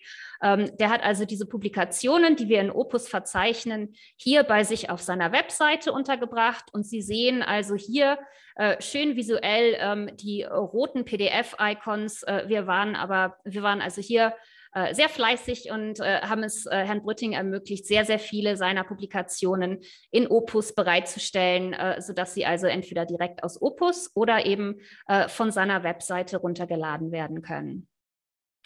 Ähm, den letzten, die letzte Datenbank, die ich Ihnen noch ganz kurz vorstellen wollte, das war PubMed also die medizinische Seite. Hier ist natürlich ganz klassisches Suchthema äh, Covid-19 im Moment. Ähm, und Sie sehen, hier gibt es eine Möglichkeit zu sagen, Sie möchten nur die Dokumente angezeigt bekommen, die frei zugänglich sind. Und da sind es bei Covid noch 120.000 Ergebnisse. Das heißt also, Sie finden hier ordentlich Material, äh, was Sie lesen können, rezipieren können. Ähm, das sind also ein paar ähm, dieser verschiedenen Tools, die Sie nutzen können. Ähm, es gibt für ähm, verschiedene Fächer auch eine Übersicht. Äh, es gibt ein Open Access Network und hier können Sie auf dieser Webseite sich Ihr eigenes ähm, Fachgebiet raussuchen und dann finden Sie eine Übersicht darüber, welche Repositorien zum Beispiel für Sie in Frage kommen, welche Open Access Zeitschriften äh, sehr viel genutzt werden in diesem Bereich und so weiter. Also Open Access Network kann ich Ihnen nur empfehlen ähm, und, äh, und dann die Fächerübersicht, ähm, damit Sie für sich ein gutes äh, Bild sich darüber machen können, welche Open Access Materialien ähm, für Sie relevant sein könnten. Ähm, wie unterstützen wir Sie an der Universitätsbibliothek Augsburg? Ähm, wir beraten natürlich, ganz klar. Also ähm, wir sind nicht nur da für die äh, Uni-Angehörigen, äh, wir sind für alle Interessierten da. Das heißt, also Sie können sich jederzeit an uns wenden. Die Details sind auf der Webseite und ich blende sie jetzt auch gleich auf der letzten Folie nochmal ein. Ähm, wir ähm, bieten Schulungen an. Wir machen also monatliche Open Access Schulungen, die frei zugänglich sind. Ähm, das heißt, Sie können auch jederzeit äh, virtuell an diesen äh, Schulungsangeboten teilnehmen. Wir haben Informationsmaterialien, die ausliegen in der Bibliothek etc. Wir arbeiten hart am Repositorium. Das heißt, wir ähm, sind dabei, immer mehr Volltexte online zu stellen. Wir bieten einen Zweitveröffentlichungsservice an für unsere wissenschaftlichen Mitarbeiter und Mitarbeiterinnen. Und Stück für Stück äh, können wir also mehr von den eigenen Publikationen ähm, aller wissenschaftlichen Mitarbeiter hier äh, in Opus bereitstellen. Das ist ein Langzeitprojekt und äh, wir sind noch am Anfang, aber Sie sehen ja schon, äh, dass einige Volltexte schon bereitgestellt worden worden sind. Und wir bieten individualisierte Dienstleistungen an rund um Open Access und Publizieren. Ähm, das heißt also, bei Interesse und Fragen wenden Sie sich einfach äh, jederzeit gerne an uns. Ähm, was ist jetzt äh, der nächste Schritt für Sie? Ähm, Sie können sich natürlich zurücklehnen und äh, einfach gucken, was so im Bereich Open Access in den nächsten Jahren in Augsburg und an der Uni Augsburg äh, alles passieren wird. Äh, Sie können aber auch aktiv werden. Äh, Sie können selber Open Access Literatur nutzen. Sie können mit Kollegen, Kolleginnen über Open Access reden. Sie können Open Access weiterempfehlen. Also diese Tools, die ich Ihnen gezeigt habe, natürlich auch zum Beispiel ähm, äh, Schülern, Schülerinnen der äh, höheren Jahrgangsstufen ähm, schon zeigen Sie können eigene Publikationen selber sichtbar machen und online zur Verfügung stellen. Und wie gesagt, Sie können äh, sich jederzeit bei Fragen an uns wenden. Ähm, das äh, Referat Open Access und Publizieren ähm, ist für alle da und wir helfen Ihnen gerne. Wir haben die Telefonnummer und unsere E-Mail-Adresse openaccess.bibliothek Uni-Augsburg nochmal unten eingeblendet und eine Webseite gibt es natürlich auch. Wenn Sie Open Access Uni Augsburg googeln, dann finden Sie uns. Ähm, ganz herzlichen Dank. Damit endet äh, mein Beitrag und äh, Fragen natürlich jederzeit gerne. Ja, liebe Frau Herrkönig, vielen Dank für diesen interessanten äh, Vortrag. Da denke ich an meine Studienzeit zurück und wünschte mir, dass es damals sowas auch schon gegeben hätte für etwaige Hausarbeiten und Abschlussarbeiten. Genau, wenn es noch Fragen aus dem Zuschauerkreis sind, Sie kennen das ja, bitte die Chat-Funktion nutzen oder das F&A-Tool. Bislang sind keine Fragen drin. Ich habe eine Frage, kann man an diese Folien kommen, um diese ganzen Links zum Beispiel auch darauf zugreifen? Was muss man dafür tun? ähm, ja, also äh, wir haben äh, eine Webseite. Ähm, äh, vielleicht teile ich gerade doch nochmal meinen Bildschirm und zeige das nochmal ganz mhm. kurz. Ähm, also wir haben die Open Access Webseite, die ich gerade schon mhm. erwähnt habe. Ähm, und äh, da, es ist so, jetzt geht's los. Ähm, das heißt, da äh, gibt es weitere Informationen zum Thema Open Access und ähm, es gibt auch Links äh, zu allen möglichen Angeboten, ähm, Schulungsangeboten, weiterführenden Informationen ähm, etc. Ähm, und Sie finden ähm, auf meiner eigenen Webseite, ohne dass ich jetzt Eigenwerbung mache, also wenn Sie meinen Namen googeln, Sonja Herkün, dann finden Sie äh, einige Publikationen. Äh, und da habe ich zum Beispiel auch schon äh, verschiedene Versionen dieser Vorträge hinterlegt. Ähm, und, äh, und da können Sie sich dann sofort die PDFs runterladen und, äh, und da dann auch den Links folgen. Ja, ich glaube, das ist für viele hier Anwesenden sehr interessant und sehr spannend und es ist auch eine Arbeit, die sich, glaube ich, im Endeffekt auch lohnen wird. Das hoffe ich. Ich, bedanke mich auch nochmal für den Vortrag. Frau Herkunen ist auch nochmal schönes Feedback aus dem Chat, aus dem Zuschauerkreis gekommen an Sie. Ich bedanke mich generell bei allen Vortragenden, die hier auch bis zum Ende noch hier geblieben sind.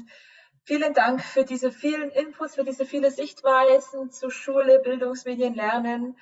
Und ja, es bleibt mir nur noch zu sagen, ich wünsche Ihnen jetzt zum Mittagessen einen guten Appetit. Hoffentlich strahlt bei Ihnen überall auch die Sonne, so wie es jetzt in Augsburg ist. Ich bin auch weiterhin auch in der Zwischenzeit im Laden. Bis 4 Uhr haben wir heute auch noch geöffnet. Wer Interesse hat, kann gerne einmal vorbeischauen oder eben bei einer unserer anderen Online-Veranstaltungen. Ich bedanke mich recht herzlich fürs Einschalten, für die vielen Fragen, für die spannenden Diskussionen, dafür, dass die Referenten und Referenten sich die Zeit genommen haben und die Mühe und ihr Engagement. Und ja, bleiben Sie gesund. Bis bald und auf Wiedersehen hier aus der Zwischenzeit, dem Pop-Up Store der Uni Augsburg. Vielen Dank. Tschüss.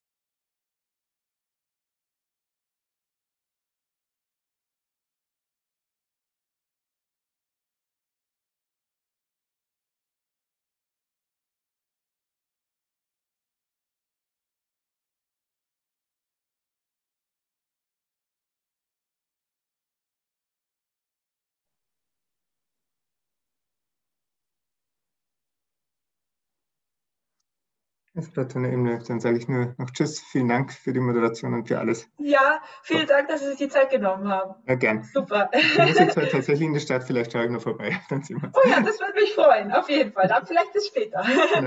Tschüss.